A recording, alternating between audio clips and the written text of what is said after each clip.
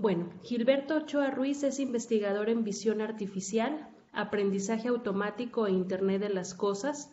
Ha participado como investigador asociado y conferencista en varios programas acreditados por el programa CONACYT PNPC, orientados a la informática y, y, las tecnologías de la comunicación y la información.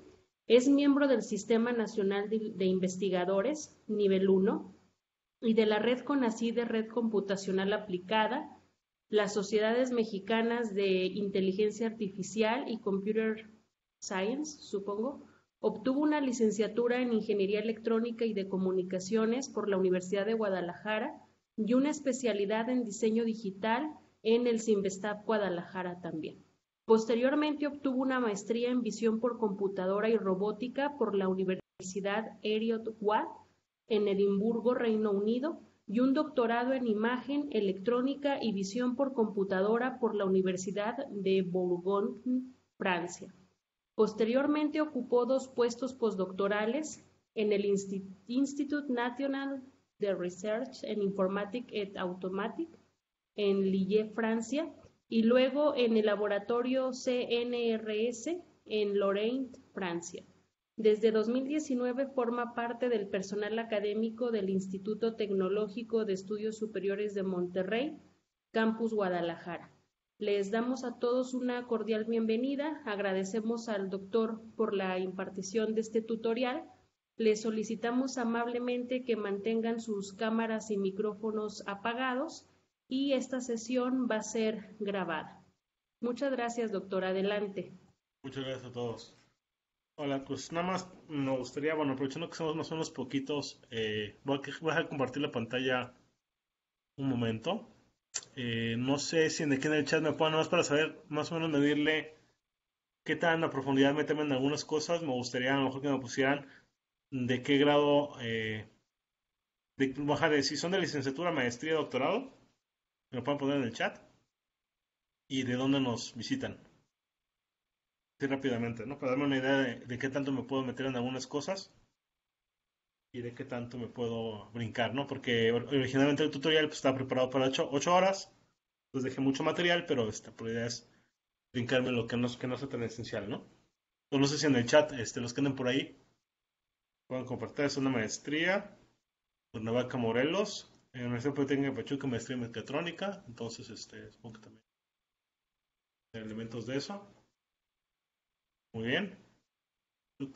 Entonces empezamos. ¿Y si están familiarizados con, con visión por computadora?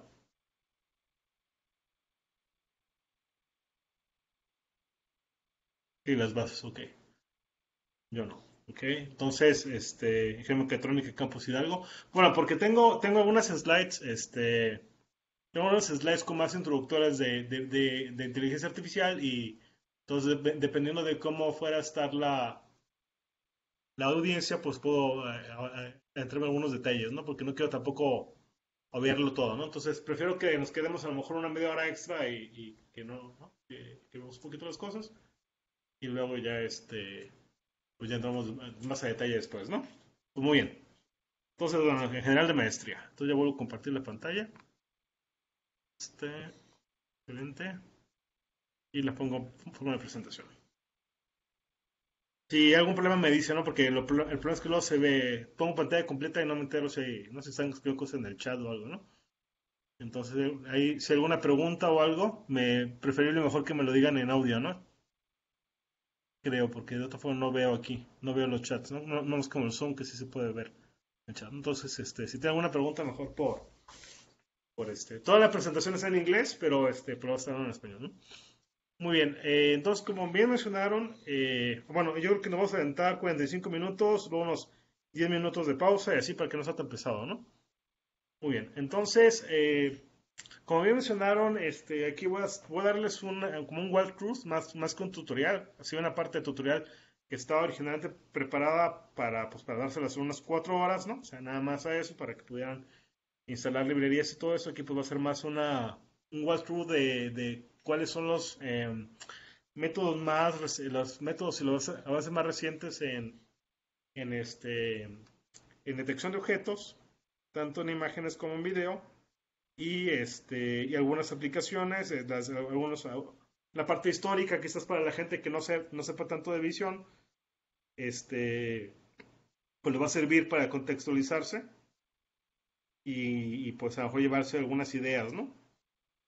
Este, y, bueno, después este, vienen un par de ejemplos, que como les comentaba, pues sí, pensaba ayudarlos eh, estando física presencialmente, pues es mucho más sencillo que cada quien nos ha instalado algo, ¿no? Pero este, y estarlo haciendo, pues aquí va a, tocar hacerlo un poquito este, más, pues más demostrativo, ¿no? Entonces esto va a ser hacia el final del, tutorial. Entonces, no sé por qué no me dejan avanzar las slides. Ahí está. Entonces, a ver, uh, ¿qué es la, como les digo, dependiendo de la, la, la audiencia, eh, uh, había un poquito, una parte introductoria que yo creo que me voy a brincar, pasar muy rápido la, algunas cosas recientes en inteligencia artificial. Algo que también quizás, eh, ahorita voy a hacer una, una, una sondeo para ver cómo andan en, en cuestiones de deep learning, porque los métodos de detección que vamos a estar viendo son básicamente todos basados en Deep Learning. Vamos a, a ver algunas cosas por ahí de, de, lo que se hacía hace unos 20 años, ¿no? Y cómo, cómo ha ido cambiando. Y, y, luego vamos a ver una evolución. Esta sería la parte 4, que es realmente la, la, parte más medular del tutorial. Es la evolución técnica de la detección de objetos este, desde el punto de vista técnico, ¿no? Eh, toda la parte teórica y la parte de implementación que ha motivado, ¿no? Una segunda parte, pues, este, ejemplos, este, retos y constraints. Y ya algunos métodos, datasets y métricas, ¿no? Que se utiliza para comparar, este, para comparar, este, métodos de detección de objetos, ¿no? Y luego ya vamos a entrar propiamente, ahora sí, en los métodos modernos. Básicamente vamos a atacar los, los, los iniciales, los que se conocen como two-stage detectors y sus variantes. Y los otros más, más recientes como YOLO y este, Single Shot Detectors, eh, RetinaNet y otros por ahí, ¿no? Y comparaciones en términos de performance. Y luego lo que les decía, la, la demostración en detección de objetos en Google Colab. Tengo dos, uno, dos ejemplos este, sencillos. Uno de, en donde sí nos aventamos toda la parte de augmentation de datos, este, training testing, y otro en el que ya agarramos un modelo preentrenado y le echamos a andar. Y, y implementamos varias de las partes de, eh, varios de los componentes que se requieren para, vamos, en este caso, estar implementando este algoritmo que se conoce como YOLO. Me imagino que muchos de ustedes ya lo, lo conocen, ¿no? Muy bien, entonces, bueno, esto me lo voy a pasar uh, muy, muy, rápidamente porque yo asumo que ya todo el mundo, mundo sabe lo que es la inteligencia artificial, cuáles son los grandes avances que hemos visto en los años recientes, ¿no? Este, hemos visto este, en lenguaje natural, en visión, en clasificación de imágenes, en, en imágenes médicas, una, un gran, una gran cantidad de avances, ¿no? Y todos sabemos que estos avances este, pues vienen de, pues de, de, una convergencia de una, una, serie de cosas, ¿no? Este, tanto, yo creo que la más importante es, eh, bueno, la más importante sería la, la, gran cantidad de datos que generamos, digamos que a partir del 2000 para acá más o menos, este, pues con el Internet, eh, con el correo, con las redes sociales, pues generamos gran cantidad de información, entonces eh, tenemos la información, pero pues otra eh, fuente importante ha sido eh, la poder de cómputo, en particular este, la cloud computing y los GPUs, ¿no? Y, y también en, en, tercer lugar, eh, importante es probablemente los algoritmos, que los algoritmos, como ustedes ya saben, muchos de ellos este, ya existían, los, la parte fundamental de muchas de las pruebas en redes neuronales ya existían, simplemente no había ni datos eh, suficientes ni poder de cómputo, de grosso modo, ¿no?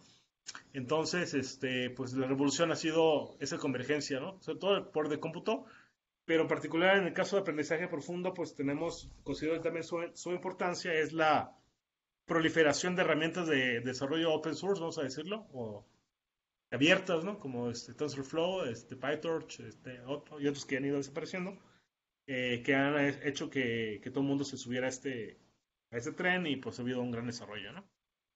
Entonces, este, pues como ustedes saben, en el caso particular de visión, este, pues el punto de inflexión este, fue por ahí en el 2012 con el, con el, cuando AlexNet ganó este, este gana ImageNet, es un concurso de, de esta base de datos con una gran cantidad de categorías y este y se logra por ahí un performance no, no visto anteriormente. Este, eso nos sirve de, de, de, precedente porque pues nosotros vamos a estar lidiando mucho con uh, cosas de visión. ¿no? Este, entonces, pues por ahí en el 2012, pues es la primera vez que se tiene un error, por ahí se recuerda como del 15%, ¿no? Cuando las técnicas eh, tradicionales de visión por computadora habían tenido errores por ahí del 30, 40%, ¿no? Este, en años anteriores. Entonces sí fue un avance significativo y con cada año pues el error se ha ido este, disminuyendo, ¿no? Año con año. Muy bien, este, y pues ahora se considera que eh, el error, el error que tienen las redes más recientes, pues este, está por debajo de lo que se conoce como el human performance, como el error mínimo que se podría tener ahí, ¿no? Esto es como un Entonces, como les decía, pues, ¿cuáles son los, los elementos que han hecho que estemos ahí? Que hemos llegado a este punto, pues, es la parte de Big Data, la gran cantidad de datos que tenemos a disposición, ¿sí? este, que se generan día a día, tanto imágenes como texto, como quieran, tweets, etcétera, y pues que vienen tanto del internet normal como de la como de las aplicaciones móviles, ¿no? Esas dos cosas, este, una tras otra ha traído eh, muchísima, este, un cambio sin precedentes, ¿no? Este, yo recuerdo, yo hice la, maestría en visión por computadora en el 2007, 2007 empecé, que es aproximadamente cuando Facebook empezó, y sí se nota una evolución impresionante, ¿no? En cuanto a la reconocimiento facial, este tipo de cosas, ¿no? Ha habido un, y, y, es por la gran cantidad de imágenes que en su momento etiquetamos, ¿no? Este, otro componente, pues como bien sabido por ustedes, la parte de hardware, este, pues la, sobre todo la introducción del GPU, y la constitución de grandes este, equipos de computadora, ¿no? por computadoras, como esta Mare Nostrum Barcelona, pues ha, ha, hecho que se avance este, de forma muy importante. ¿no? Eh, y realmente, pues una de las ventajas, eh, es una ventaja, digamos, desde el punto de vista científico, pero puede considerarse una desventaja desde el punto de vista de, la, de acceso a, lo, a, a los poder, al poder de cómputo, porque pues hay muchos países que solamente algunas grandes universidades o algunas grandes compañías como Nvidia, como es Amazon, Google, son las que de repente tienen acceso a ese tipo de poder de cómputo y son los que pues de repente es muy difícil eh, seguirles el paso, ¿no? Es una, una cosa por otra, ¿no? Entonces, bueno, también, este, pues ya sabemos que los algoritmos, eh, todos sabemos que el Deep Learning es, una, es un conjunto de, de Machine Learning, ¿sí? este, y en general pues un subconjunto de inteligencia artificial. Entonces, este, eh, vamos a ver, para mí pues, realmente el Deep Learning es una herramienta, en el contexto de visión por computadora es una herramienta, aunque, aunque de, con, los años, en, años recientes, eh, digamos que cuando yo estoy visión por computadora, eh, la visión y, los, la forma en que uno atacaba los problemas era como un poquito independiente de repente de lo que uh, de Machine Learning, Machine Learning lo usábamos mucho como, como, este, como, como algo auxiliar, como herramientas auxiliares pero eh, con años recientes vemos cada vez más la proliferación de lo que se conoce como end-to-end training, ¿no? O end-to-end deep learning, en el cual pues se resuelven problemas de natural language processing, de computer vision y de otras.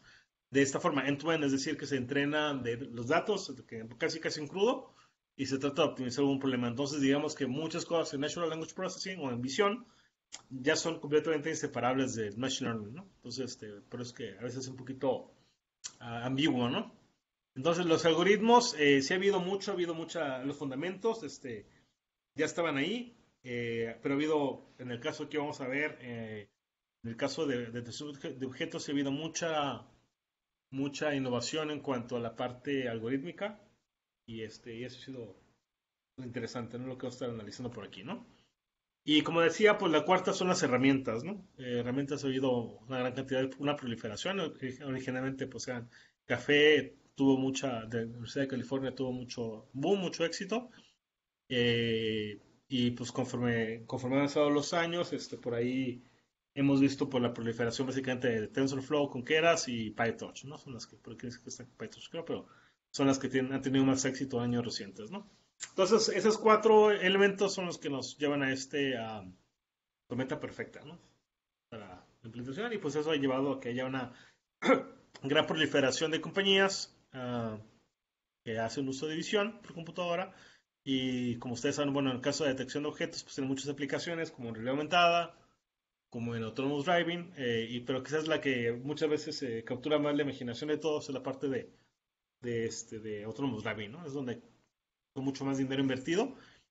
Pero hay muchas áreas de aplicación interesantes, ¿no? Este, Human Machine Interaction, este, Autonomous Driving, eh, eh, ¿cuáles otras? Este, básicamente esas, ¿no? Este, realidad aumentada y otras por ahí, ¿no? Este, cosas ya quizás más aplicadas a, ciertos contextos. Biovigilancia sería otra. Este, Entonces, este, bueno, esto me lo voy a brincar un poquito. Eh, quiero también pasar así rápidamente de, paso también para ver el, efecto que ha tenido el, aprendizaje profundo y la inteligencia artificial. Eh, salió este reporte el año pasado eh, de la World Intellectual Property Organization, en el cual hacen un mapeo de cuáles son las áreas de, innovación y de, inteligencia artificial que han tenido mayor auge. Y, este, y pues aquí este, son algunas, ¿no? pero básicamente pues casi todas las, las más importantes son este, visión por computadora. Bueno, tenemos dos grandes campos, ¿no? Visión por computadora y aprendizaje automático. Eh, yo diría que de calle sea un poquito más en visión por computadora todavía, porque pues este, hay mucha, muchísima información que se puede extraer del mundo real. Eh, y bueno, hay algunas de las, ya particularmente algunas de las áreas que son importantes, la parte del conocimiento de caracteres, parte que es el porcentaje de texto, ¿no? O aún así de mineo también del mundo real para aplicaciones en realidad aumentada, aplicaciones de biométrica eh, para cosas de seguridad, ¿no? Este, eh, tanto de facial, el reconocimiento facial como reconocimiento de huellas dactilares y otras. ¿sí? La parte de Scene Understanding que, y eh, Image and Video Segmentation, que la que les decía que están muy orientadas, esas dos están particularmente muy orientadas con Autonomous Driving, ¿no? Eh, aunque también con, eh, tienen aplicaciones en realidad aumentada. Y luego tenemos Object Tracking y Augmented Reality, esos dos pues, están, Object Tracking está muy relacionada a realidad aumentada y, a, y, otras aplicaciones por ahí, ¿no? Entonces son los que nos vamos a concentrar por ahí. Entonces aquí vemos cuáles son las áreas más, más este, importantes, ¿no? Este, que han tenido un crecimiento exponencial en años recientes, ¿sí? O sea, por sí ya a partir de 2007, ya 2006, 2007 ya se comenzó a ver un aumento, pero a partir de pues de las innovaciones que hemos tenido, eh, digamos que estamos un poco en una edad de implementación, ¿no? O sea, hay mucho, mucho que hacer todavía quizás en, en términos de investigación, pero realmente con el estado actual de las cosas, cosas este, podemos ah, hacer mucha aplicación, ¿no? Muchas aplicaciones y pues ustedes harán, eh, proliferan eh, gran cantidad de aplicaciones, ¿no? De por computadora y también National Language Processing, pero en eso no me voy a concentrar. Interesante también de este, de este ah, reporte es el número de patentes eh, y el número de publicaciones. ¿no? Ha habido este, un incremento exponencial, 175% de incremento por año eh, para aplicaciones de Deep Learning. De familias ha habido un incremento en eh, los 2011 para acá de casi 7 veces patentes de inteligencia artificial. Entonces, realmente hay mucha área de oportunidad aquí. A veces nomás toca a veces ponernos a pensar qué, qué tipo de cosas podemos hacer, ¿no? Muy bien, entonces yo creo que, a ver, voy a regresar nada más para uh, ver cuántos andamos. Esto en Mexicali, licenciatura, entonces por ahí ingenieros. Eh, voy, a hacer la pregunta otra vez, no sé, eh, ya hay 26 personas, son un poquito más. Este, aunque algunos por ahí que me parecen como repetidos. Uh, eh, entonces, a ver, uh, ahorita pues, nos quedamos más en la generalidad todavía, ¿no? Eh, las slides que vienen son poquito más orientadas a Deep Learning. ¿Quieren que me las brinque? O sea, que me las pase muy rápido. ¿O si quieren que la veamos en un poquito de detalle? Es que están al pendiente de, de esto. Bueno, pues vamos a pasar rápidamente. Que sí vamos a entrar luego en detalles en algunas cosas y pues no sé si los voy a perder en algún momento, ¿no? Entonces, a ver, este, comparto la pantalla.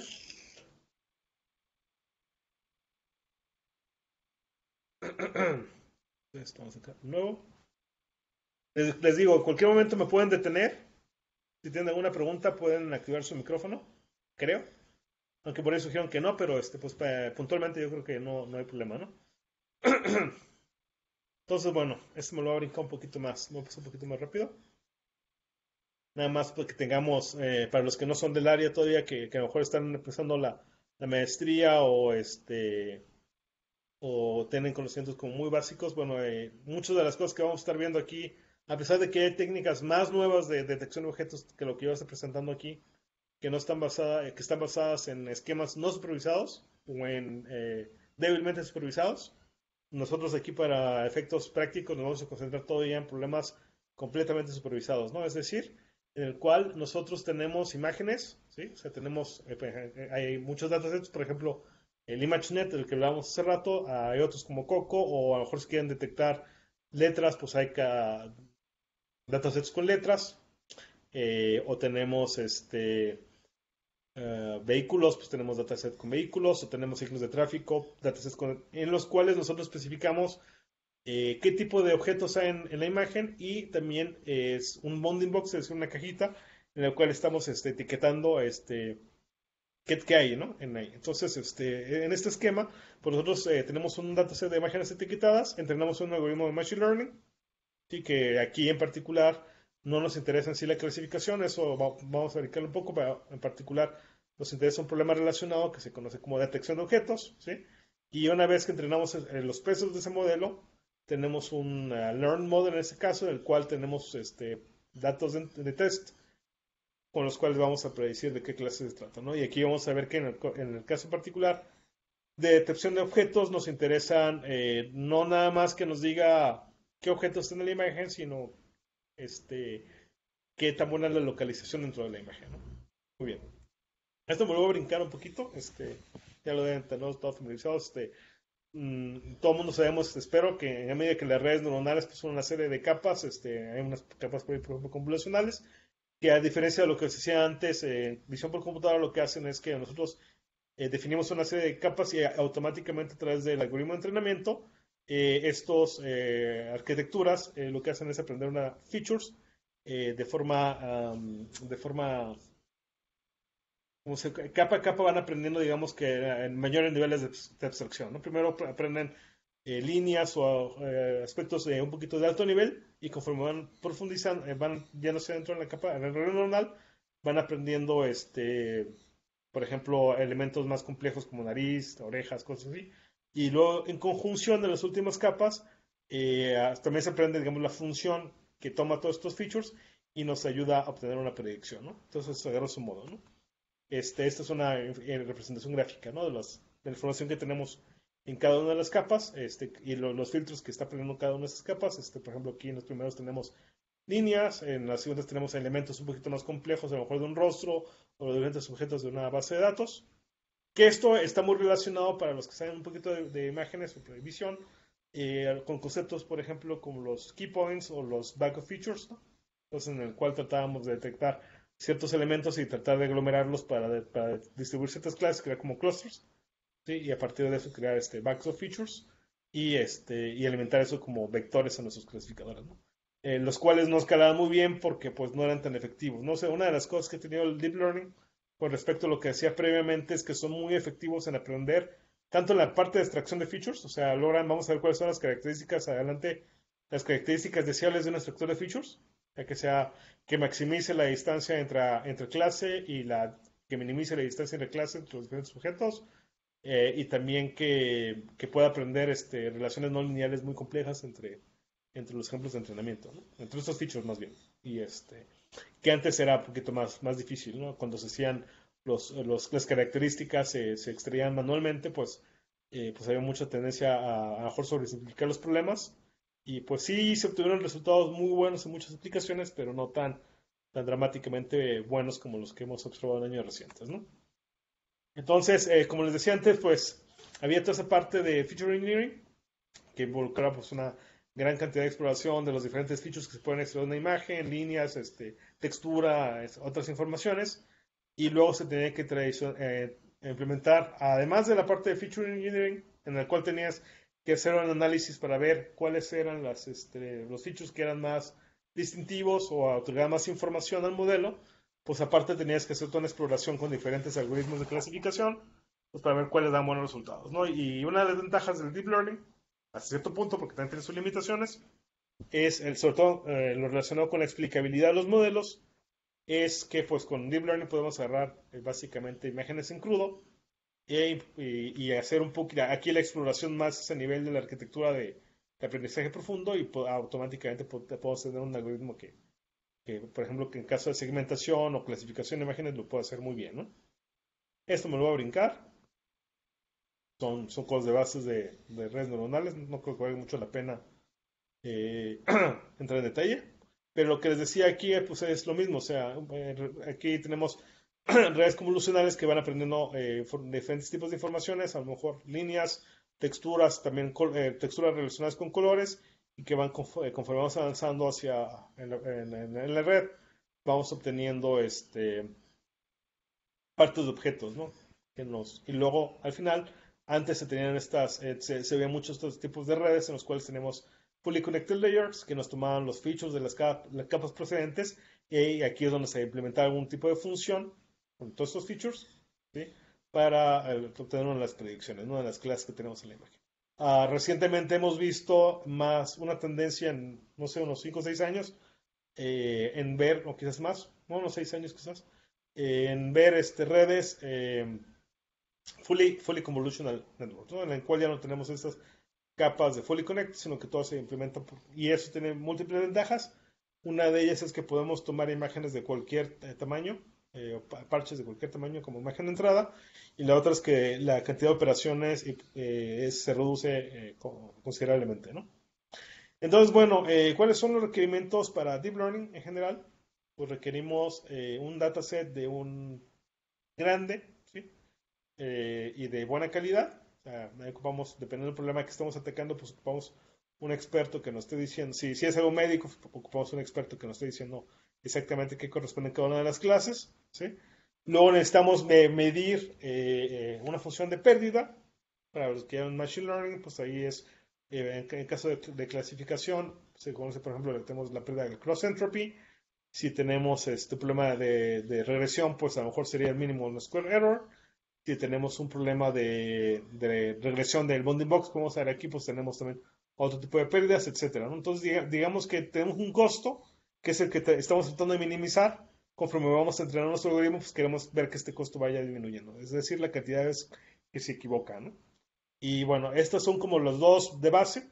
¿sí? O sea, tenemos las imágenes, los mappings entre ellas. Definimos el costo, que es lo que estamos tratando de minimizar. Eh, necesitamos poder de cómputo, obviamente. Sin poder de cómputo es prácticamente imposible eh, echar a andar muchos de estos modelos. Y este, bueno, básicamente esos tres cosas. Este, en cuanto al, reto de MachoNet, y, aquí me quedo un poquito porque son cosas que son importantes para este para entender lo que vamos a hacer después, pues tenemos diferentes, este, antes de, antes de, de los ah, de los algoritmos tradicionales de deep, learning como GoogleNet, pues había esquemas por ahí en los cuales este, se extraían diferentes tipos de descriptores como histogram gradients o locally lo que binary patterns, que trataban de combinar mejor información de, orientación de líneas o información de textura y luego trataban de combinarlo de alguna forma este, para implementar después algún este, modelo por ahí este, lineal, ¿no? por ejemplo, Super Vector Machines. Y como les comentaba, pues eh, conforme han avanzado los años, hasta por ahí el 2016, pues hay diferentes variaciones de redes que lo que tratan es extraer estos, aprender a, a extraer estos features de forma automática y y bueno, una cosa que es bien sabida tener aprendizaje profundo es que pues entre más profundas sean las capas, entre más profundas sean las redes, perdón, este, pues es mayor su poder de, generalización y de, poder de, predicción, vamos a decir. Entonces, pues este, ha habido muchas eh, innovaciones en cuanto a, cómo, a cómo hacer estas, estas actores, los script connections, ese tipo de cosas, para tratar de minimizar ciertos problemas cuando se, se diseñan redes más profundas, etcétera. Eso sí, pues es un, es un universo muy específico Vamos a tomar algunas ideas para, para la parte de detección de objetos, se toman algunas ideas de, detección, de, de clasificación de imágenes. En la parte de feature extraction, este, en general ustedes agarran muchos papers de deep learning para muchas tareas como segmentación, post-estimation, otras. Eh, vamos a ver que la parte de feature extraction en realidad se ha vuelto como muy, uh, muy ya muy de base, digamos, como antes teníamos algoritmos como histogram gradients o local binary patterns u otros, que era muy, muy común muy comunes. Uh, eh, también ahora en Deep Learning ya hay, eh, ya hay arquitecturas bien conocidas como Inception o BGG, el cual, eh, las cuales pues, se utilizan de, base, se utiliza para la parte de extracción de features y después este, es lo que se le conoce como backbone. Y luego a partir de ese backbone se, se pueden hacer modificaciones ya para ah, resolver un problema en particular, ¿no? Porque ya contamos con features de calidad, ¿no? Muy bien. Entonces, eh, como les decía, uh, hay eh, muchas áreas relación. ¿Por qué es importante ver este problema de detección de objetos? Sobre todo para los que no son a lo mejor necesariamente de visión. Eh, aunque lo pueden utilizar como una herramienta, pero siempre es interesante conocer qué es lo que hay detrás y, este, y cuáles son las limitaciones. ¿no? Entonces, este, digamos que es importante porque es, es la detección de objetos es la base para construir muchos algoritmos que vienen después, ¿no? Por ejemplo, algoritmos de, tracking o algoritmos de clasificación de acciones de personas, por ejemplo, o para hacer cosas de eh, image captioning, etcétera. Entonces, o para hacer algoritmos de tracking aumentada o aplicaciones militares, lo que se les puede ocurrir. Muchas veces lo que queremos es, si recuerdan, eh, bueno, no sé quiénes estén yendo visión por computadora aquí, pero hay como dos visiones, ahora sí que valga la redundancia, como dos visiones en visión por computadora, dos, grandes áreas. Una es la parte de Image Understanding, que está mucho más relacionada con, Machine Learning, ¿sí? que es entender qué hay en la escena. ¿no? Hay personas, hay objetos, etcétera, etcétera. Esa es una, esa es una parte, eh, la parte de reconocimiento de patrones, si quieren, eh, Image Understanding. Y hay otra parte que es la parte de 3D Computer Vision, que es todo lo que nos dice, ok, cuáles son las relaciones con los objetos, cuál, a qué profundidad están los objetos y todo eso. Y son técnicas que también te, típicamente habían estado como desconectadas, cada uno por su lado, eran complementarias en algún momento cuando querías hacer alguna aplicación, pero conforme el Deep Learning ha ido avanzando, pues vemos que cada vez eh, todo se hace con Deep Learning, también la parte de 3D, ya muchas cosas se hacen con Deep Learning. Pero bueno, aquí vamos a estar lidiando más eh, de base con la, con la parte de Scene Understanding, es decir, tratar de entender qué hay en la escena. Este, como les decía, pues esa es la, parte del primer paso en muchas aplicaciones, ¿no? Muy bien. Entonces, eh, tenemos aquí diferentes eh, clasificaciones. Por ejemplo, eh, la, base, pues aquí no tengo image classification, image classification sería en ese caso que nos dijera nada más, en esta imagen, esta imagen es de un gato, ¿no? Y a lo mejor si hay otras etiquetas, pues, ah, pues hay tal o tal clase, ¿no?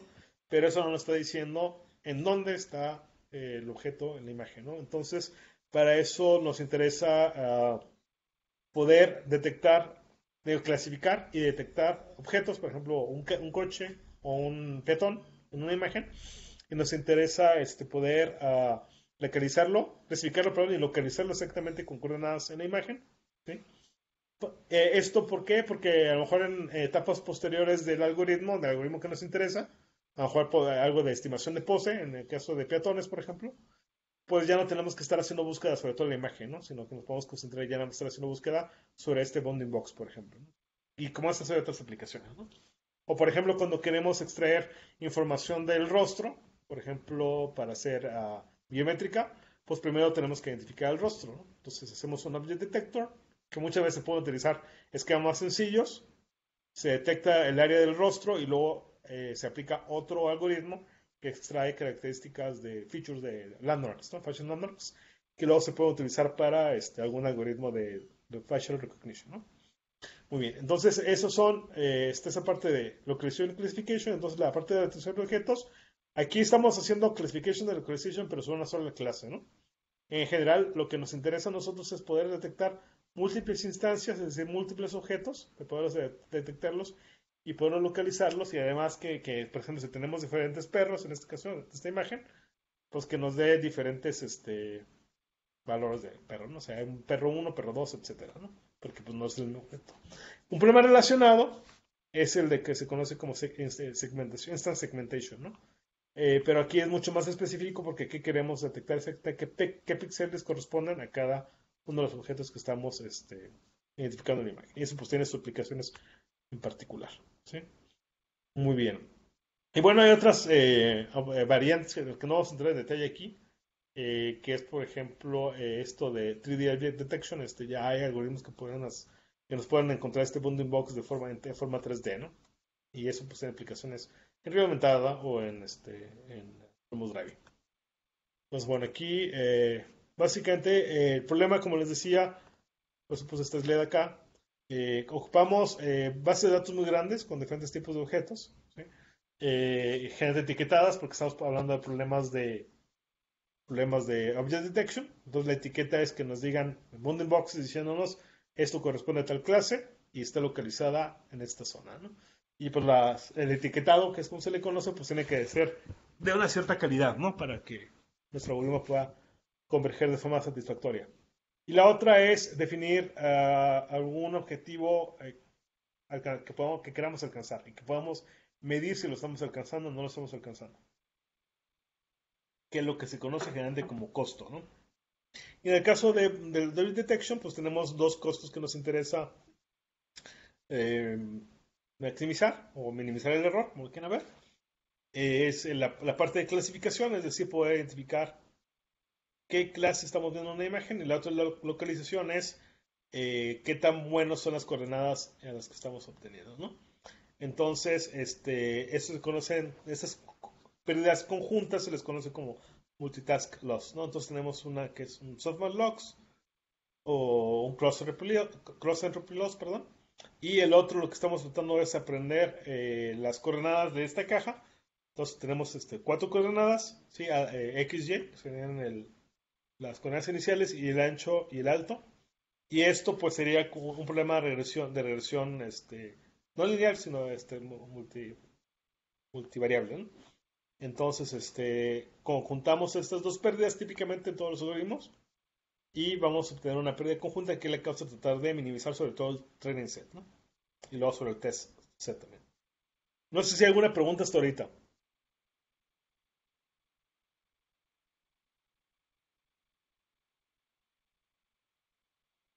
¿No? Entonces, uh, voy a ver, a ver, este. Uh, vamos a recorrer una pausa, ¿no? Bueno, entonces, eh, el problema básicamente, como, se hacía antes, y ahorita vamos a ver cómo, cómo vamos a hacer este, este problema. El problema de, de, Object Detection es que, eh, digamos que lo que típicamente se hacía antes es que eh, se, probaba esta, esta parte de aquí esta parte de aquí tratábamos de hacerlo de una forma como greedy, como como medio, este, prueba y error, si lo quieren ver así. Entonces, muchas veces lo que se hacía eh, tradicionalmente con los algoritmos de, eh, básicos de Machine Learning o de visión tradicionales, como Violet Jones, y, también con algunos métodos eh, tradicionales de aprendizaje profundo, es que se iba a, agarrar, se agarraba una ventanita, estas, estas cajitas, se iban recorriendo sobre toda la imagen, y luego para cada, para cada instancia del de estas cajitas se tomaban los píxeles que había dentro de ella y se pasaban a través de un clasificador y tratábamos de identificar si había un objeto o no había un objeto. ¿no? ¿Cuál es el problema con ese? Pues que para una, imágenes muy grandes pues tenemos eh, pues en, principio un número infinito de posibilidades de, de tamaños de cajas, ¿no? a menos que sepamos ya de a priori eh, por ejemplo, cuál va a ser el tamaño de, no, a lo mejor uno, de los algoritmos iniciales de Object Detection como exitosos que, que todo mundo de ustedes debe conocer es el detector de, rostros o el detector de sonrisas en las cámaras digitales o en los celulares ahora, ¿no? Ese es un, un, primer ejemplo exitoso de, de, ese tipo de detección. Y era exitoso porque lo hacía bien, de entrada, y segundo porque uh, lo hacía rápido, era, que es lo más importante y era poco costoso en términos de, memoria, ¿no? Para que tenía que ver una, una cámara digital. Eh, entonces, digamos que en ese tipo de aplicaciones, cuando hacemos fotografía, cuando queremos fotografiar personas, pues digamos que se pueden hacer ciertas suposiciones, a que, que los rostros van a ser de, de, un, de, un, cierto tamaño, de un cierto tamaño, entonces este, la, la, búsqueda se vuelve menos exhaustiva. Pero en el caso más general de detección de objetos, pues no, no a, priori, a priori no sabemos, cuál va a ser el tamaño de los objetos que queremos observar. Entonces tenemos que partir desde cajas muy chiquitas hasta cajas muy grandes, ¿no? Y las tenemos que recorrer de arriba hacia abajo. Entonces eso hace que tengamos que aplicar el, algoritmo de Machine Learning sobre una gran cantidad de, de, locations, ¿no? De escalas. Escala se refiere a que, por ejemplo, aquí no hay, eh, si se tuviera perspectiva esta imagen, a lo mejor tendremos gatos acá atrás, más chiquitos, y gatos más grandes adelante, ¿no? Y entonces, esto relacionado con la escala es qué, objetos estamos, de qué tamaño estamos observando. Y también el problema es, a lo mejor tenemos gatos que están parados y gatos que están acostados, entonces tenemos que modificar la, el bounding box, tanto en lo alto como en lo ancho, lo que se conoce como aspect radio, ¿no? Y entonces eso lo hace supremamente complejo, supremamente ineficiente, tanto para el entrenamiento como para lo que se conoce como la inferencia. Y entonces, este, pues no, no era muy buena idea, ¿no? Entonces, pues eh, vamos a ver que se han ido, tenido este, introduciendo algunas modificaciones a este tipo de esquemas, ¿no? Para tratar de hacerlo más, más, este, más eficiente. Y eso se puede observar en esta gráfica que ya está un poquito desactualizada, pero pues pueden ver cómo, cómo ha ido creciendo el número de publicaciones en detección de objetos eh, en Google, ¿no? En Google Scholar en, este, en años recientes. Es bastante impresionante. Muy bien. Entonces, eh, también en, particular aquí, cuando estamos hablando de detección de objetos, eh, siempre vamos a estar interesados en, dos cosas, ¿no? En objetos que son eh, muy estructurados, es decir, carros, carros, este, caras, o sea, objetos que tienen relaciones entre ellos bien conocidas, ¿no? O sea, que tienen dos patas, tienen dos ojos, etcétera. O los carros, pues también que tienen cuatro llantas, este, tienen, o sea, son, son sumamente estructurados este, y también articulados. Entonces, eh, sería más difícil este, detectar objetos que son muy variables, ¿no? O sea, muy, mejor las plantas o algunos objetos sean muy variables, es muy difícil poder entrenar algoritmos que, que, tomen en cuenta tantísimas variaciones, ¿no? Entonces, este, entonces, este, vamos a utilizar bounding boxes para definir eh, de forma gruesa la localización espacial de un objeto para propósitos de evaluación. Entonces aquí hay que dar algunos ejemplos de estos, ¿no? Entonces, este...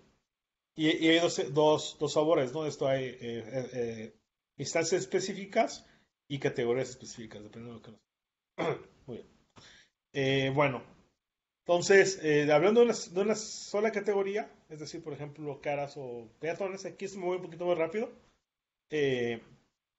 típicamente, en visión por computadora, en los últimos 20, 30 años, quizás 30 años, este, una de las, cosas que siempre nos han interesado más por cuestiones económicas, por cuestiones de aplicación, etcétera, pues fue primero poder detectar humanos, Entonces muchos de los problemas están relacionados con detectar caras o detectar personas en, video, ¿no?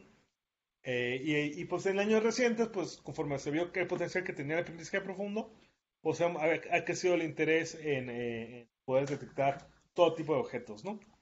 Ahora, vamos a ver que eso es posible hasta cierto punto, porque conforme comienzan a crecer la cantidad de, ejemplos que tenemos, este, pues se más difícil, ¿no? Porque las la, diferencias entre tigres y gatos, pues, este, ¿no? A lo mejor cuando tienes nomás esas dos clases es sencillo, pero conforme comenzamos a tener más y más clases diferentes de felinos, pues este, a veces los algoritmos empiezan a tener un poquito de problemas para diferenciarlos, entonces pues vamos cada vez base de datos más grandes, este extractor de fichos más, más, más buenos, etcétera. Entonces es un problema eh, no trivial, ¿no? Muy bien. Entonces, em, entonces, como les decía, pues eh, los, los, algoritmos tradicionales eh, de visión por computadora tenían bastantes dificultades en clasificación, digamos ya en, detección. algunos de estos, por ejemplo, eran algunos algoritmos, por ejemplo, bag of words, este, eh, el, este, el Parts Model, ¿no? Aquí, aquí en esta ventana de tiempo vemos una combinación de features y de algoritmos, ¿no?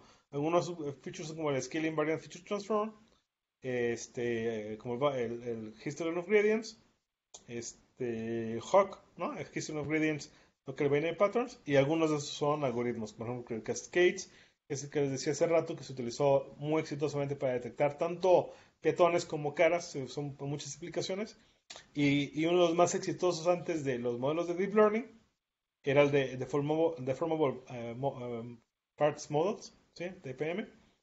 Este, fueron de los más exitosos antes de la llegada del Deep Learning, en particular AlexNet. ¿no? Este, pero bueno, es, interesante que, tengan una... y bueno, eh, curiosamente, muchos de esos, de esos este, esquemas que había anteriormente este, tenían este, bien poquitas categorías. ¿no? Porque bueno, era difícil conseguir imágenes para tantas categorías y bueno, Internet no estaba tan, tan en moda, en el 2007 pues no había tantas imágenes todavía. Eh, en, aquel, en, el, en, aquel tiempo había uno que se llama Pascal eh, Visual Object eh, Challenge, que tenía 10 clases, y conforme fue evolucionando, pues llegaron como 20 clases, 100 clases a lo mejor, pero en el caso de, de este no, tenemos 200 categorías, pero digamos que aún así, con pocas categorías, este, los, tenían dificultades para poder, en clasificación, este, tener un desempeño adecuado, ¿no? Entonces fue a partir del 2012 que fue esta gran revolución en términos de, del error, ¿sí? Del, error que teníamos. Entonces esto ha sido lo que ha permitido mayor, mayores, este, una mayor evolución en el problema de, detección de objetos y, bueno, clasificación y, posteriormente en ah, detección de objetos, ¿no? Y bueno, entonces uno de los grandes... Eh, motores detrás de esta revolución, pues ha sido la, la gran cantidad de, objetos que tenemos en, en estas clases. Este se me va a brincar porque ya lo, recorrimos. ¿no? Eh, bueno, ¿cuáles son los, O sea, ¿cuáles son las características que un detector ideal debería tener? Pues hemos dicho, eh, hay como dos vertientes, vamos a irnos primero por esta. el high accuracy, o sea, que tienen que tener una gran precisión, tanto en localización como en reconocimiento, reconociendo la parte de clasificaciones, que a reconocer los objetos y localizarlos dentro de la imagen. Y eh, además de esto, una vez que se cumplen estos dos, dos aspectos, tenemos que tener eh, gran robustez a las variaciones interclases, es decir, eh, para mí, la misma clase pues va a haber variaciones en cuanto a postura, en cuanto a, este, colores, este, texturas, etcétera, o a las condiciones de iluminación, de, punto de vista, escala, etcétera, o al mismo ruido, pueden hacer que imágenes de la misma clase de gatos o de bicicletas o lo que quieran, que entonces lo que quisiéramos generalmente cuando hablamos de mucha robustez, variaciones entre, entre, clases, que los clusters, cuando tenemos features de este tipo de imágenes, los clusters sean muy compactos, ¿no? Y la, y, la, la, la otra es la Hive Distinctiveness. Queremos que esos clusters estén muy separados, o sea, que el cluster de gatos esté muy separado del cluster de perros, ¿no? Pero ¿qué, sucede? Aquí tengo una foto de... Hay a lo mejor un chihuahua, un chihuahua que puede parecer un gato, ¿no? O algún otro animal por ahí que se pueda confundir. Entonces va a haber algunos outliers ahí que van a hacer que esta distinción no sea tan buena como quisiéramos, ¿no? Eh, entonces, y esto pues tiene que ser, estas ambigüedades tienen que ser reducidas tanto como sea posible, aun cuando llevamos a miles de objetos reales eh, de mundo real, ¿no? Y eso es la parte que es, esas dos cosas son no triviales, pero quizás esta en particular sea todavía menos trivial.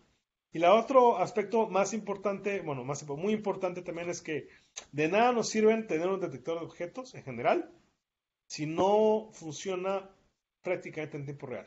Es decir, 24 cuadros por segundo más. Porque típicamente esto pues, lo queremos para aplicaciones en video, lo queremos para aplicaciones en autonomous driving, la queremos para aplicaciones en realidad aumentada, en los cuales eh, entre más latencia se, se introduzca por, eh, por alguna parte del algoritmo, pues más va a hacer que nuestra experiencia como usuarios, por ejemplo, una aplicación aumentada, sea frustrante o que una aplicación de autónomo driving sea peligrosa, ¿no? Porque pues, queremos minimizar el tiempo de, respuesta. Entonces tiene que ser eficiente en términos de tiempo, pero también tiene que ser eficiente en términos de consumo de memoria y, también este, consumo de memoria que, requiere para estar ejecutándose y en términos de la, cantidad de memoria que requiere estos modelos para ser almacenados, ¿no? Porque si agarramos, por ejemplo, ahorita en, este, en texto, ¿no? Este modelo de GP3, GP3, perdón, este, que ocupa 17 gigas, yo no recuerdo cuánto, eh, pues eso no lo pueden poner en un teléfono móvil, ¿no? Y, muchas aplicaciones de detección de objetos, pues queremos que corran en Edge Devices, ¿no? Que es, como se conocen Internet de las cosas, que puedan correr en tiempo real en dispositivos de preferencia constreñidos, ¿no? O sea, si tenemos una GPU para conectársela a una camarita, pues este, como que es medio contraproducente, ¿no? Entonces va una, una cosa con la otra, ¿no? Entonces, eh, como les decía, usted tiene que ser, eh, tiene que ser robustos a cambios de iluminación, de deformación, de cambio de, cambio de escala y de punto de vista, de tamaño y pose, y oclusiones, por ejemplo, entre objetos del mismo tipo, u otro tipo de, de efectos, eh, ya, probablemente imágenes como este, el blur o el movimiento de la imagen. Entonces, este, no se necesita. y luego eh, la segunda parte es las variaciones entre, entre clases, por ejemplo, pues todas estas son sillas, ¿no? Pero pues son bien distintas, así. Y luego esas, por ejemplo, eh, variaciones entre, entre, clase. Podemos tener diferentes tipos de lobo, de, ¿sí son lobos? No, no, no. Vamos a decir que son lobos. Este, esos son diferentes tipos de lobos, sí, pero son diferentes entre sí. Eh, y aún así se parecen mucho, ¿no? Entonces, eh, el detalle es que a lo mejor este que, está eh, un poquito iluminado, si, si es un poquito más iluminado, puede pasar por este, a lo mejor por decir algo, ¿no? Entonces, este tipo de problemas son no triviales y la mayoría de los algoritmos funcionan muy bien para datasets que están bien controlados, pero cuando los tratas de llevar al mundo real, pues ya no funcionan tan bien como quisiéramos, ¿no? Entonces, bueno, esa también está la parte de, de, eficiencia, ¿no? Que ya hemos hablado. Muy bien, aquí, bueno, aquí creo que voy a dejar descansar descansamos, este, si les parece. Un poquito más a la tercera parte. Este, no sé si hay alguna pregunta hasta aquí. Vamos, seguimos todavía personas conectadas, entonces no. No sé, ¿alguna pregunta ahorita, chavos? Yo, bueno, ¿sí se escucha? Perdón. Sí, Ah, ¿qué tal? Buenas tardes. Eh, yo me llamo Manuel. Bueno, mi pregunta va orientada, eh, bueno, con respecto a lo que acaba de mencionar, ¿no?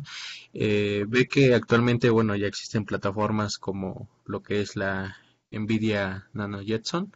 Ajá. Y bueno, va que, bueno, ¿cómo ve este tipo de plataformas como para hacer, eh, pues implementar, ¿no? Todas esas técnicas de visión por computadora, pero eh, en cuanto a- al procesamiento o e identificación de señalamientos, no sé por decir, eh, he visto algunos proyectos eh, que ya lo que hacen es, pues nada más agarrar, este, por decir, OpenCV Ujú. y, y agarrar y entrenar, bueno, sacar un, un dataset y entrenar con respecto a esas imágenes y, y bueno, ya nada más con respecto a lo que identifique, pues la acción que va a tomar este, ya sea el sistema que esté empleando, no sé, por decir un carro o, por el estilo, ¿no? El, a lo que voy es que si cree conveniente el implementar realmente visión por computadora en ese tipo de plataformas. Mira, déjame te muestro. Voy a- voy a abrir otras slides de una presentación muy distinta que tengo por aquí. Eso, como todo en ingeniería, eh, a- al final de cuentas aquí estamos lidiando con problemas de ingeniería, ¿verdad? Entonces, ah, eso dependerá mucho de tu budget en términos de costo, de lo que quieras, de la, de la solución que vayas a, desarrollar. Eh, y el budget va tanto en el costo de la plataforma en sí, o sea, cuánto, cuánto la persona la que la solución que vayas a desarrollar vaya a costar, esa es una, porque la, la, la Jetson no cuesta 100 dólares, por decir algo, ¿no? O 150 dólares, eh, por decir algo. Y luego también en términos del budget de la ah, de consumo de potencia que tengas, porque digamos que si, por ejemplo, vas a diseñar un sistema de inspección para una fábrica, ¿no? En la que quieres detectar objetos, contar, etcétera y, eh, y a lo mejor eso vas a tener una cámara en la que vas a, lo mejor poner una muy cerquita, ¿no? Un, un Edge device, básicamente, hay un, no sé, un- una, una Jetson Nano o un FPGA o algún otro tipo de plataforma y quieres que te esté haciendo procesamiento, pues a lo mejor te puedes permitir que tu plataforma consuma 10 watts, ¿no? Porque está conectada a la energía eléctrica y no es una aplicación, eh, no es una aplicación, este, como constreñida realmente, ¿no? Entonces ahí, para ese tipo de soluciones o para soluciones ma- ma- ma- vamos a decir que sean como de bajo, bajo volumen, que sean como muy específicas, yo creo que sí te puedes permitir eh, ese tipo de soluciones, ¿no? Eh, déjame ver dónde quedó la slide. El problema es cuando quieres diseñar, a lo mejor, para Autonomous Driving, pues también te puede permitir algo que consuma 5 o 10 watts, porque pues tienes el coche y, y no, no está realmente constreñido en cuanto a consumo de potencia, ¿no? Este, déjame, aquí tengo el slide. Eh, comparto. Es de otra presentación distinta, porque luego también hay pláticas sobre eso. Eh, aquí, ¿sí ves el slide? Eh, sí, ya se está viendo. Entonces, eh, eso va a depender mucho, ¿no? Por ejemplo, depende del performance que quieras contra, contra el poder, ¿no? Entonces, tenemos, por ejemplo, bueno, aquí habla de FPGAs, pero digamos, cuando trabajamos en performance que son bajos, ¿no? Este, aquí en, la pura mitad tenemos eh, consumo de potencia latente alto y performance me- mediano, pues a lo mejor podemos trabajar como GPUs, como lo que estamos diciendo, ¿no? Este, y luego, por ejemplo, a lo mejor los FPGAs o los microcontroladores, eh, podemos tener algunas aplicaciones que pueden funcionar bien para este, un consumo de potencia mucho menor. Aquí estamos hablando de, de casi decenas, decenas de watts, ¿no? que son gente, cosas que, bueno, a lo mejor mucha gente de computación no, no tiende a pensar mucho en, este- en términos de esto, por la gente que son mecatrónicos y electrónicos, sí tendemos a pensar un poquito más en esto. Eh, los CPUs consumen mucho más watts, de 10 watts hacia arriba, ¿no? Para un cierto performance, y a lo mejor un micro o un FPGA, que son otro tipo de dispositivos, este, pueden tener un performance similar a un consumo de potencia mucho menor. Entonces, eso va a depender mucho, ay, perdón, de qué es lo que quieras eh, hacer, ¿no? Por ejemplo, si quieres hacer un sistema de detección de detección en móvil, pues quieres consumir muy poquito, ¿no? Por ejemplo, miliwatts para un smartwatch, digo, para un smartphone o un wearable, pues quieres consumir un poquito porque si no consumiera más, pues se, com- se comería tu, tu batería, ¿no? Si quieres sistemas, por ejemplo, de speed recognition o de smart glasses o realidad aumentada, pues a lo mejor te puedes permitir algo un poquito más alto, ¿no? Pero sí necesitas más, consumo, pues, pero no demasiado porque la que se calentara. necesitas que sea barato, pero no tan barato como esto, para que no te, ¿no? Imagínate que una Jetson no, no, la puedes meter en un sistema de, de realidad aumentada, ¿no? Eh, entonces ocupas algo más barato, a lo mejor algo específico, o sea, ahí lo que se hace es, a lo mejor diseñas una arquitectura y le implementas un FPGA o en un circuito integrado que te haga específicamente la acción que quieres hacer, ¿no? Que es lo que hace, por ejemplo, Intel o otras compañías.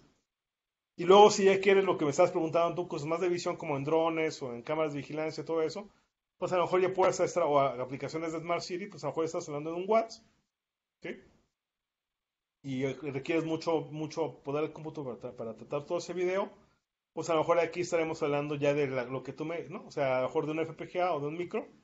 Y, para eso cabe mencionar que eh, ya hay muchos esquemas, por ejemplo, recientemente salió un framework de, que se llama TinyML, está basado en TensorFlow Lite, y hay otros esquemas que te permiten comprimir los modelos de Machine Learning, de Deep Learning, para que en lugar de utilizar gigabytes de memoria o muchos megabytes de memoria, utilicen unos cuantos megabytes eh, utilizando técnicas de compresión o de cuantización. Y esos modelos los puedes, puedes hacer que, te, que quepan en un microcontrolador, por ejemplo. Entonces yo creo que, respondiendo a tu pregunta, es, yo creo que esa es mucho, dependiendo, de, sobre todo yo creo la cantidad de frames por segundo que quieras procesar, o sea, la cantidad de, de operaciones por segundo y la cantidad de potencia que te puedas permitir. Si ocupas, ocupas procesar mucho y no te da el ancho, pues a lo mejor te das que irte a algo más grande.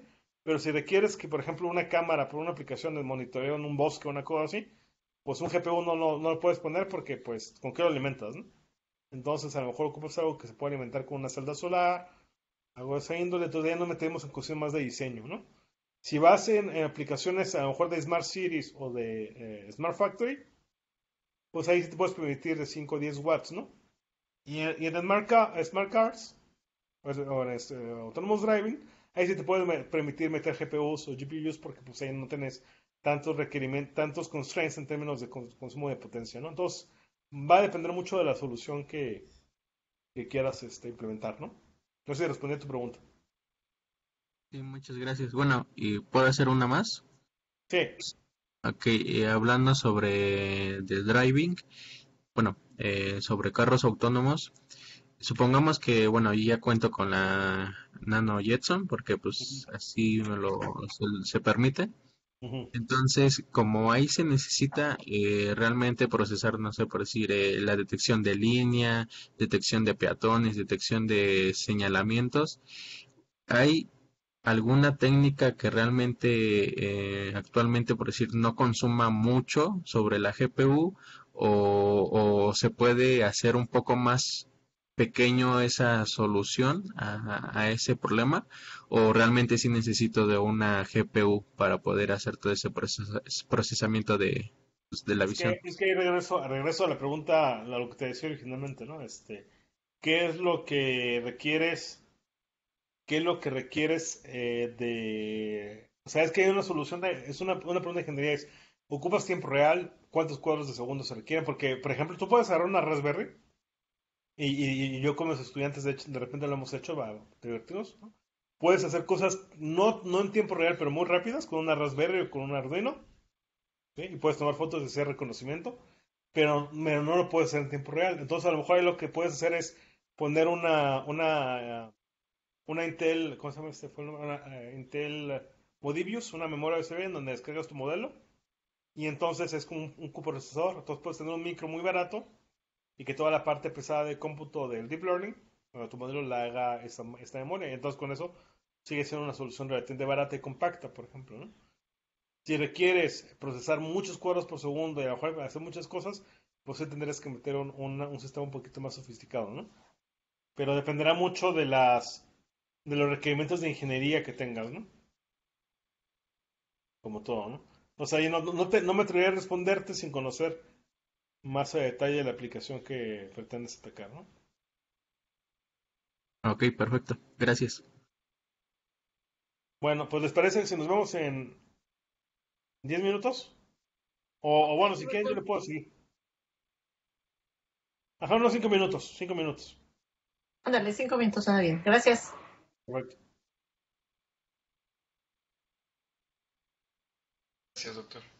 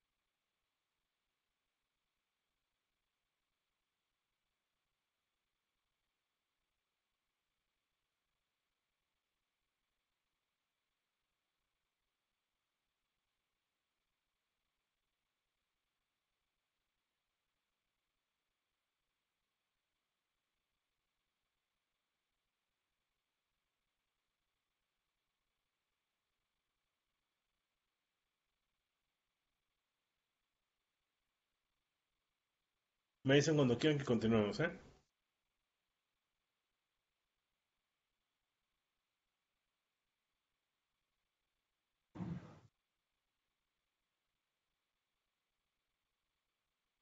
Yo diría que adelante, Gilberto, si quieres, por favor. Sí, por favor. Perfecto. Gracias, ¿eh? Sí, ustedes. Bueno, pues voy a compartir.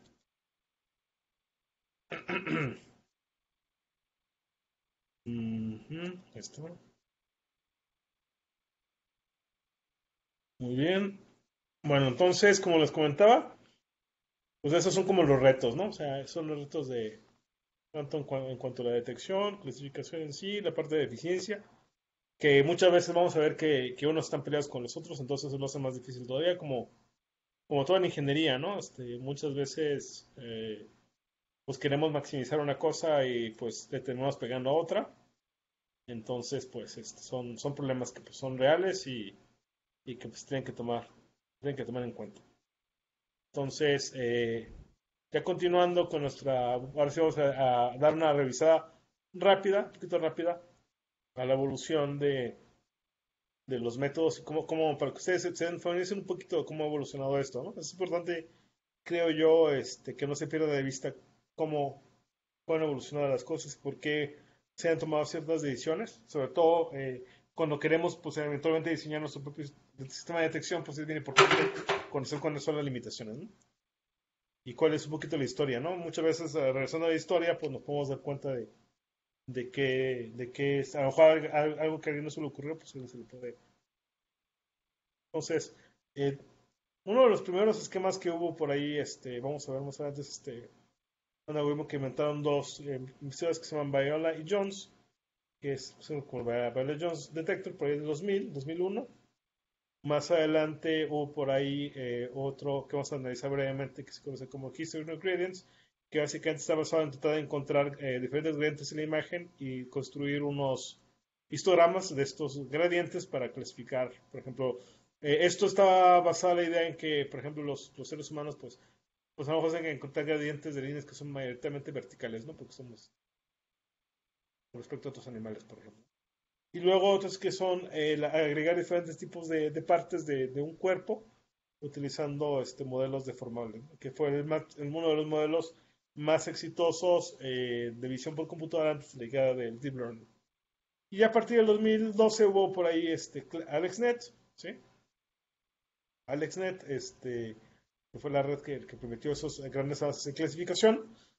y, por ahí pues, se empezaron a desarrollar diferentes algoritmos de detección eh, curiosamente, algunos de los más exitosos fueron en su momento eh, con gente que había trabajado en, algoritmos tradicionales, ¿no? Eh, como el caso de Yershik, que creó este, RCNN, y digamos que hubo dos, como dos ramas paralelas. Una que se da en este esquema de two stage detectors, vamos a ver qué se refiere a eso, y otro que, se, que trabaja eh, como detección de, un solo, solo nivel. Entonces vamos a ver de qué se trata cada uno de ellos. Eh, entonces, estos son como los principales milestones, ¿no? Entonces, eh, hasta el momento, pues algunos de más exitosos son YOLO, YOLO y Log Ones, y hay otros, por ejemplo, RetinaNet, que son muy, muy buenos en cuanto a velocidad. Eso es lo que diferencia a los dos. Estos son muy rápidos, ¿sí? este, pero no son tan precisos en general. Y estos de acá son más lentos, eh, particular. RCNN es más lento, pero es muy preciso.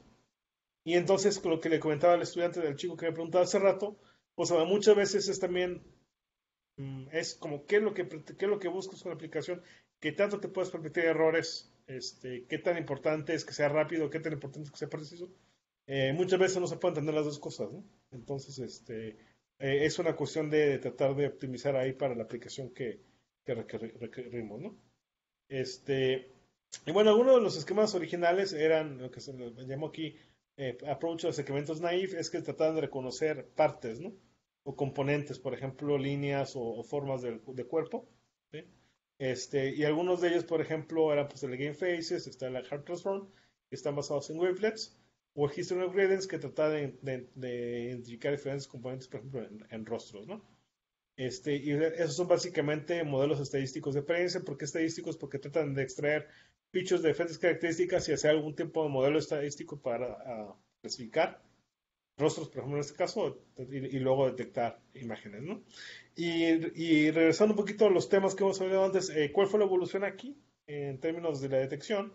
Eh, una cosa que era importante en los rostros era pues, tratar de identificar, eh, digamos que aquí el, el, aspect ratio es constante, o sea, todas las personas tenemos un rostro más o menos similar, ¿no? Más, más alto que ancho.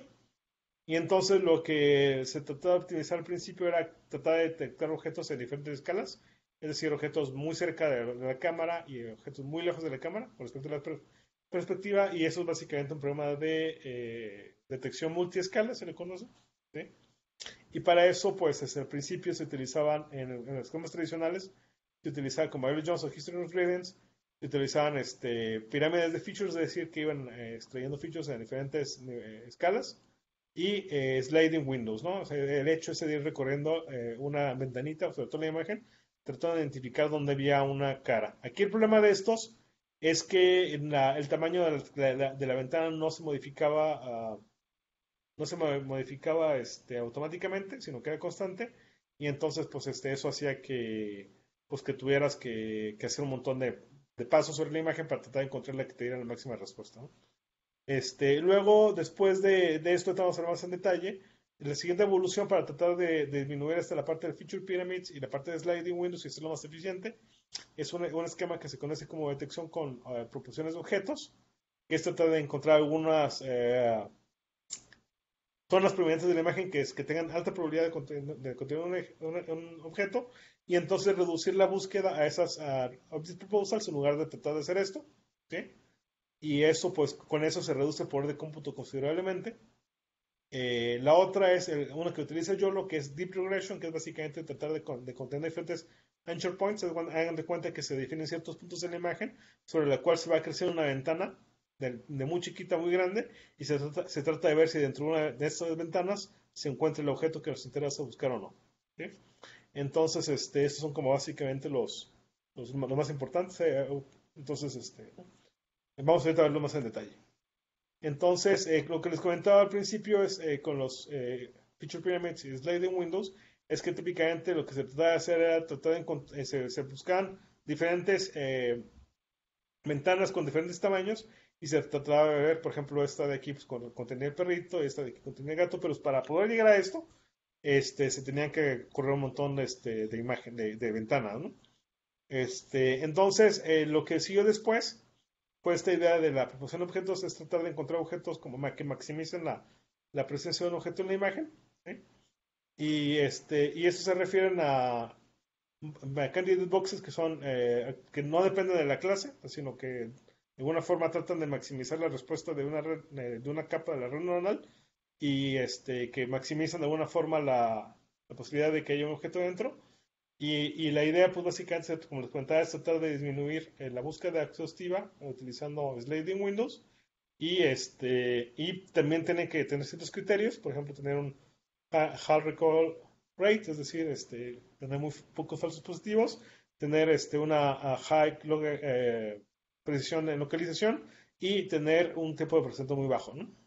Este, el problema, eh, había muchos métodos que estaban basados en una idea que se conoce como la detección de salience, es decir, eh, encontrar objetos que, digamos, eh, se construyen unos mapas de, de, de, salience visual en los cuales este, ah, tenemos más probabilidades de que haya ciertos objetos y a partir de esos mapas de salience visual son los que se utilizan para definir un, sliding window, sliding window perdón, alrededor de esto este, y que son los candidate boxes. Entonces, en lugar de tener eh, millones a lo mejor de ventanas, se utilizan esos mapas de saliencia visual para disminuir la cantidad de ventanas y luego ya se, se itera sobre esas ventanas candidatas para tratar de ver si dentro de una de estas está el objeto o no. La otra es eh, un esquema que sigue siendo un poco de fuerza bruta, que es el de YOLO, que es, eh, que es un ejemplo que vamos a ver más adelante en el tutorial, es el ejemplo que vamos a revisar es que se, se revisa, se, se, divide una imagen en una cierta cantidad de, grids.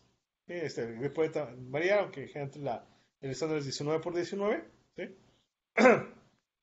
y lo que se hace es que se, se, definen esos anchor points, que son como los puntos centrales de cada uno de los grids, de los, de los cajitas, y se va creciendo imagen, este, cajas de diferentes tamaños, y diferentes aspect radios, ¿sí? Y entonces la idea de esto es eh, tratar de eh, maximizar. Recuerden que en, detección tenemos de maximizar dos cosas. La probabilidad de que haya un objeto dentro de, este bounding box y que la calidad del bounding box sea buena. Entonces, si empezamos al principio, pues al principio vamos a observar, a lo mejor, a lo mejor aquí vamos a observar, ah, sí, perro, ¿no? Pero a lo mejor conoce con 0.6 de probabilidad. Y conforme vamos creciendo, eh, ese porcentaje de probabilidad va a aumentar, ¿sí? Pero eh, la cajita, pues, este, eh, tenemos que llegar a un punto en el cual sea óptimo, ¿no? ¿Y cómo saber cuándo es óptimo? Pues, este, por nuestra función de costo, ¿no? Que decimos que vamos a entrenar el modelo, vamos a eh, definir tanto la parte de maximizar la probabilidad como maximizar la calidad del bounding box. Eso básicamente es un, costo que estamos nosotros definiendo ahí, ¿no? Ya cuando probemos, pues, la, como vamos a tener ejemplos de entrenamiento que no están, digo, ejemplos de test, que no está en el entrenamiento, pues a lo mejor eh, los resultados van a ser buenos, pero no necesariamente óptimos, ¿no? Pero bueno, eso también es algo que, tenemos que, que tomar en cuenta, ¿no? Entonces, este, la idea es, este, como les decía, es este, estos eh, bonding boxes, ¿no? Para los cuales definimos eh, la pérdida de la clase, la probabilidad de la clase y la localización, que es básicamente. Y para saber qué tan buena es la probabilidad de localización, hay una métrica por ahí que se, que se conoce como intersection over units, que vamos a ver más adelante, que es básicamente el overlap entre la, la predicción ¿sí? que, de nuestro detector y el, este, el, ejemplo, y, el bounding box de entrenamiento, ¿no? la, la notación. Entonces, entre más, alta sea, entre más alto sea ese overlap, eh, quiere decir que nuestra detección está siendo mejor. Entonces, en términos de regresión, o sea, ¿cómo hacemos la regresión? Pues tenemos diferentes este, esquemas. Este, este, había unos que no utilizaban Bounding Box, como son los, antiguos, que es lo que los hacía muy ineficientes. Luego se hacía una regresión de Bounding Box a Bounding Box, como es en el caso de, de Formable Parts Model, no vamos a meter tanto en detalle. Y luego eh, otras que se conocen como From Features to Bounding Box, es decir, a partir de, de, de features en la imagen, tratamos de encontrar un Bounding Box que sea óptima, sin requerir necesariamente el esquema de eh, eh, el esquema de sliding windows. Este, muy bien, entonces este, aquí lo me voy a brincar para no estar tanto detalle, no aburrirlos con esos detalles. Eh, otra cosa que es importante en, en, detectores es qué tanto introducimos información de contexto dentro de nuestra optimización de, en la búsqueda de tratar de encontrar mejor. Esto va más relacionado con el bounding box, pero también muchas veces con la probabilidad de encontrar la clase, ¿no? Y entonces, este, muchas veces, este, es, es importante saber si tomamos en cuenta, por ejemplo, el contexto local solamente, si tomamos en cuenta el contexto global. Ahorita voy a qué me refiero con eso. Y luego, por ejemplo, si queremos tomar en cuenta contexto de otros ejemplos que hay en la imagen. Entonces, ¿a qué me refiero con esto? Que muchas veces a lo mejor podemos tener una imagen en la que encontremos una clase que no tiene nada que ver con el, con el contexto. Es decir, por ejemplo, a lo mejor encontrar un, no sé, una palmera, ¿no? Bueno, una palmera, ¿no? ¿Qué ejemplo puedo poner? a un ejemplo de una silla, por ejemplo, en, dentro de una imagen de, de, de, una, de una aplicación de Autonomous Driving, pues a lo mejor sí podría llegar a, darse que haya una silla tirada en medio de la carretera o en medio de la calle, pero es muy raro, ¿no? Entonces, este, lo que tratamos de, de hacer es tratar de, encontrar, de, incorporar algún tipo de contexto global es decir, información sobre el resto de la imagen cuando hacemos el entrenamiento para que eh, la clasificación sea mucho mejor. Eso es la introducción de contexto global. Y hay otros esquemas más modernos, que son mucho más difíciles, de hecho, que no nos vamos a meter tanto aquí, que es, por ejemplo, tratar de eh, poner ejemplos o a veces diferentes objetos que son relacionados entre sí. Por ejemplo, no sé, en alguna aplicación cuando tenemos café y galletas, por decir algo, pues ah, es una está tomando café, por decir algo. Entonces, cuando introducimos eh, diferentes objetos que nosotros asociamos como que siempre venden juntos, eso va a hacer que la localización y la clasificación se incrementen. Eh, y eso pues también tiene ciertas aplicaciones interesantes, además de la parte de detección de objetos. Entonces, este, es importante, pero les decía, pues a veces introducción de información local alrededor del objeto para tratar de maximizar el contexto eh, la, detección perdón, y la localización, a veces contexto global sobre la configuración de la escena como fuente adicional de información o este, eh, eh, interacciones entre diferentes objetos. Muy bien. Otra cosa que es importante que vamos a ver en el ejemplo es lo que les decía hace rato, o sea, si regresamos acá al ejemplo del perrito, todas estas cajas, to- todas estas cajas nos están, eh, nos están dando la clase perro, ¿no?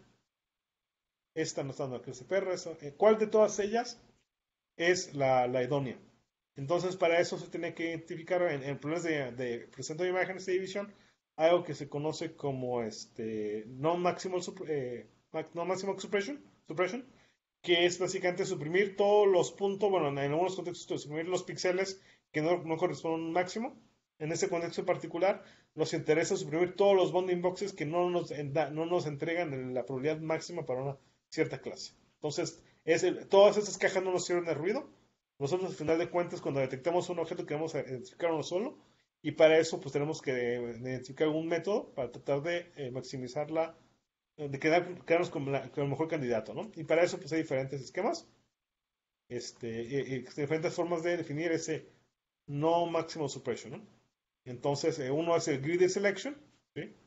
En el cual, eh, de todos estos potenciales candidatos que tenemos, este, nos quedamos con esto. Eso puede ser algún threshold que nosotros definamos. En el caso de YOLO es el, el- valor de la caja que regresa al máximo, este, el máximo, la máxima probabilidad. Y hay otros en los que tratan de hacer algún tipo de agregación de bounding boxes. ¿sí?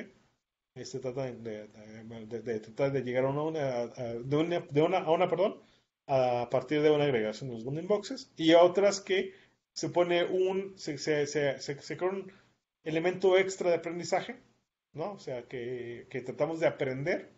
O sea, nosotros, le, apar- aparte de, la, las etiquetas que habíamos dado anteriormente, también en este caso le damos ejemplos de cuál es nosotros lo que consideramos como mejor, mejor caja o el mejor bounding box y entonces lo volvemos un problema también de aprendizaje en tu end. Entonces, además de la clasificación, localización, también le enseñamos de que aprenda a identificar el máximo. Entonces, este, eso ya lo dije.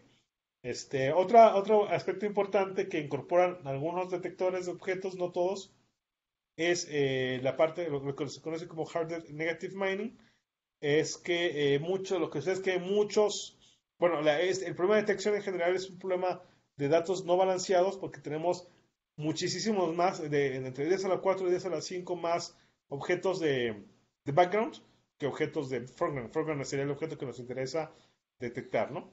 Este, y entonces eso hace que los problemas estén muy desbalanceados y entonces este, los pesos pues, van a tener, eh, los pesos de nuestra red van a tener este, pues una, un bias ¿no? hacia, hacia los sujetos del background, lo cual puede ser que efecti- eventualmente tengamos problemas para detectar eh, los sujetos que realmente nos interesan eh, de forma eficiente. Entonces, para eso pues hay diferentes esquemas.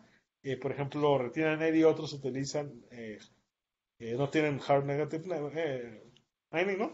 Simplemente trata de balancear este, los pesos entre los sujetos y los, las clases de background, tratar de hacer un esquema de balanceo. Y algunos otros como RetinaNet que tratan de enfocarse, eh, eh, utilizan una, una, pérdida que se conoce como focal loss, que lo que hace es que se trate de, penalizar más los ejemplos negativos. Entonces, de esta forma trata de balancear un poquito los... Y bueno, ya para cerrar esta parte de aquí, eh, lo que les decía, este, hay varias formas de, de, de acelerar el procesamiento. Uno de ellos son este, utilizando la transforma de Fourier, eh, la caracterización de, de vectores, ¿no? Eh, eh, otras son, como les decía el chico que me está preguntando hace rato, es eh, pruning y cuantificación, cuantización de, de, de redes neuronales, ¿no? O tratar de diseñar redes que sean más li- ligeras, ¿sí? Y hay otras, todo esto son como eh, diferentes estrategias que se han usado para tratar de disminuir la cantidad de porcentaje de cómputo que, que se hace para estas aplicaciones, ¿no? Entonces, este, eso nomás para que lo tengan en cuenta, ¿no?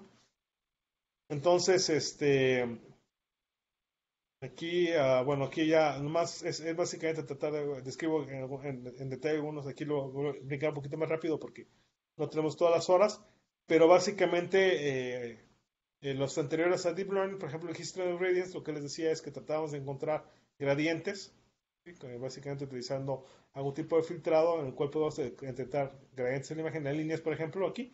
Y entonces, por ejemplo, con estos gradients se, creaba para un bounding box, por ejemplo, esa persona, se, crea- se creaba un, un, un, eh, histograma en donde poníamos para cada orientación, hacemos bins, ¿no? Para cada orientación, no sé, 0 grados, 45 grados, 90 grados, 135 grados.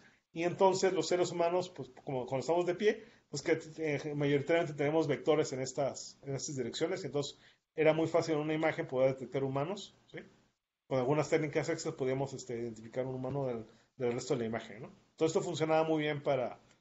Entonces, este, cuando queríamos hacer cosas más complejas, este, este caso de aquí, este, es una extensión de History of en el cual este, tratamos de encontrar abajo la cabeza, los brazos, las piernas, en diferentes partes, y modelar esto como un conjunto, ¿no? Se conoce como el parse model, ¿no? Entonces, cada diferente sujetos tendrían diferentes modelos de partes y eh, hacer, hacerlo como un, conjunto pues ayudaba también a clasificar.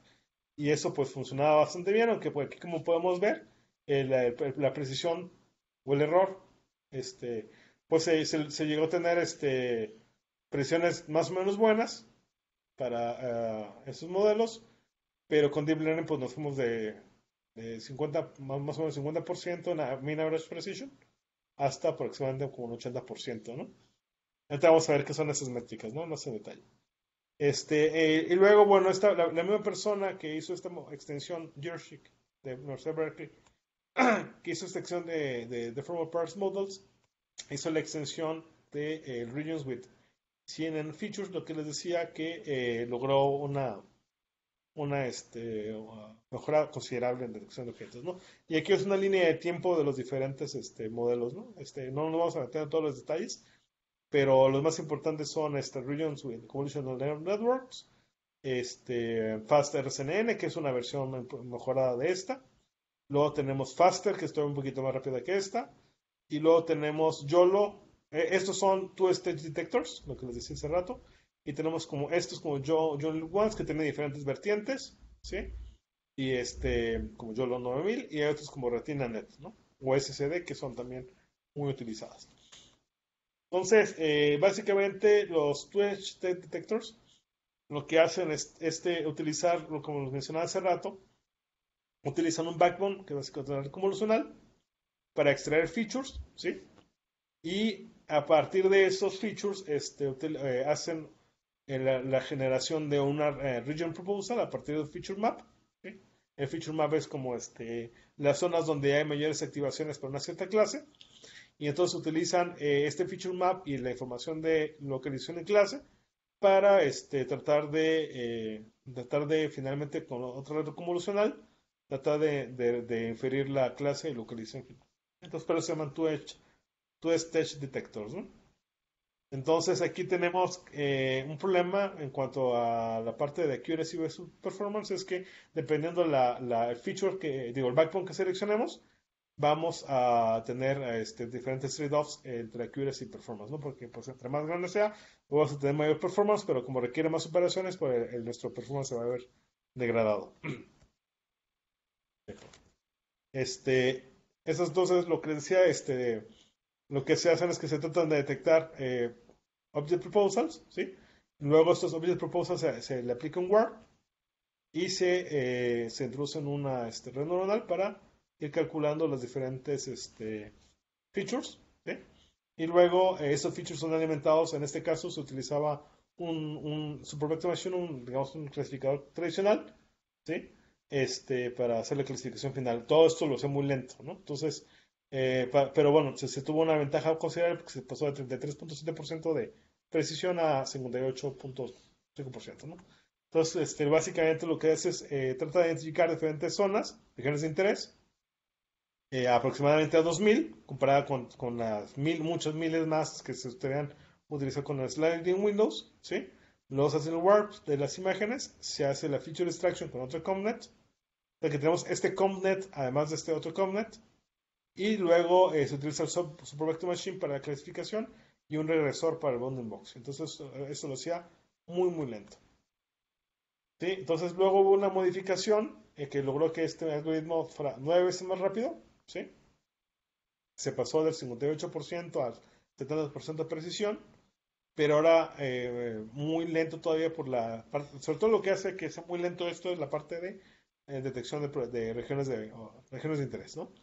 Eh, entonces mucha gente se empezó a preguntar qué tan posible era este, poder generar region proposals también con una red neuronal. Entonces es lo que vamos a ver más adelante. Entonces, esto es la, la, la red es muy similar, ¿no? A esto.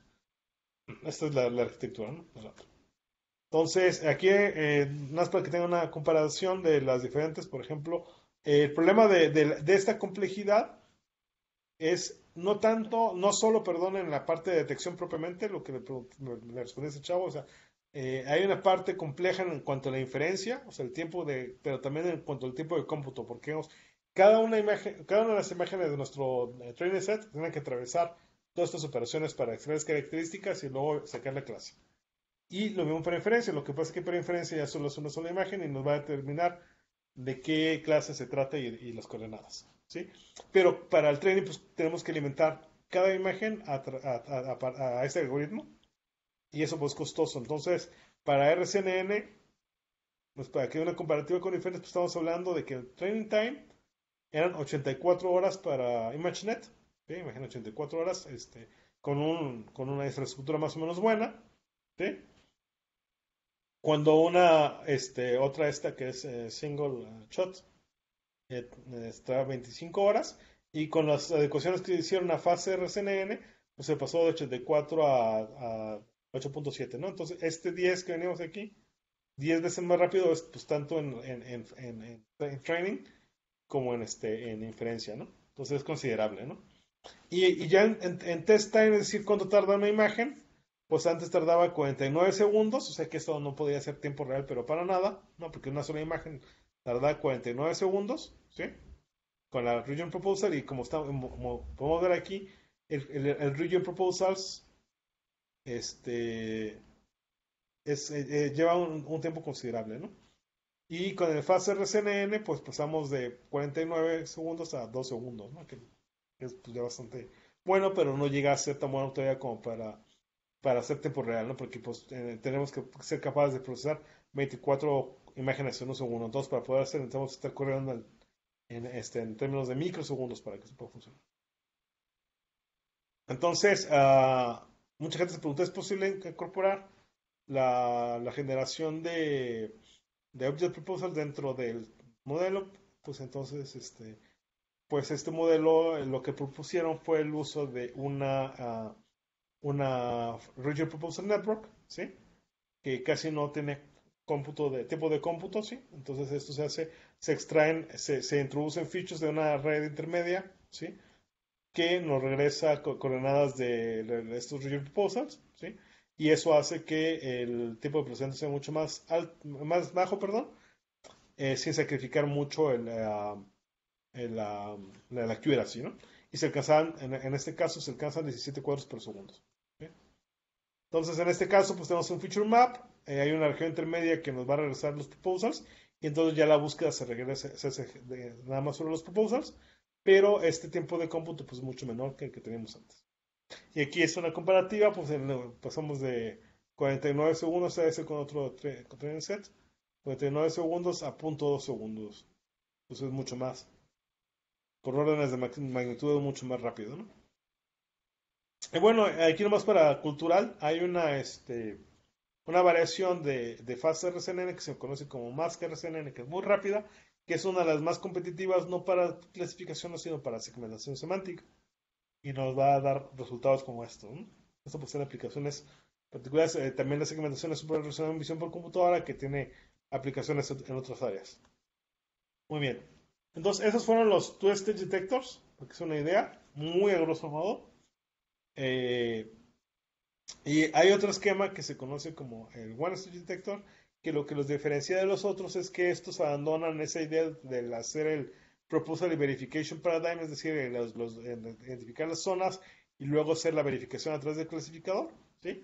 Eh, lo que estos hacen es que utilizan una red neuronal directamente sobre toda la imagen y este, lo que hacen es ir creciendo lo que les decía los, este, los, este, los anchor boxes para tratar de, eh, detectar en, en un solo shot, pero es one shot, one stage, detectors, hacer todo el proceso en un solo, en un solo disparo, vamos a decir.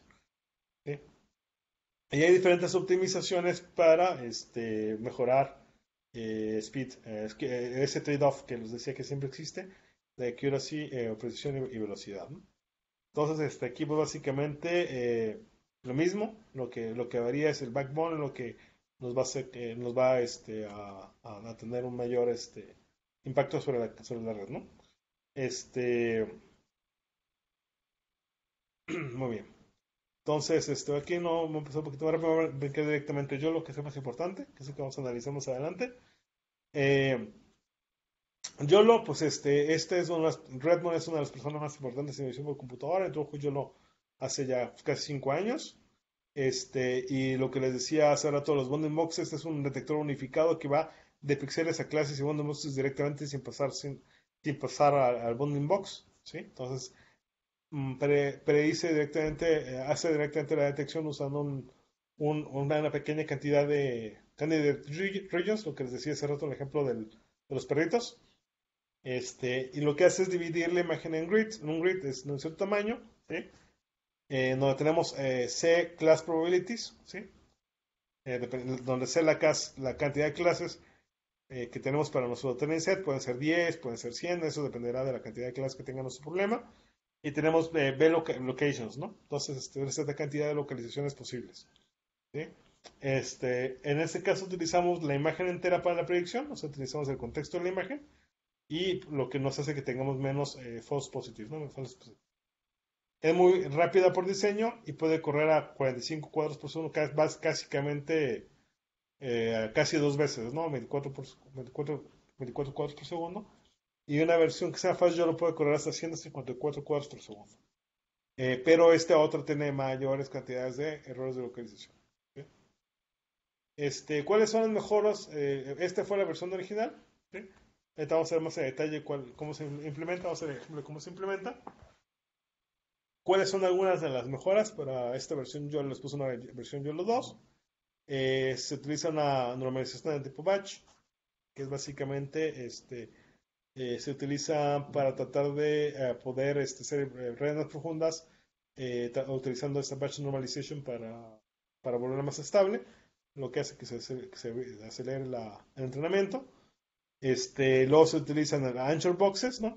Eh, que como en el caso de Faster SN, lo que mejora el, recall, disminuye la cantidad de falsos positivos.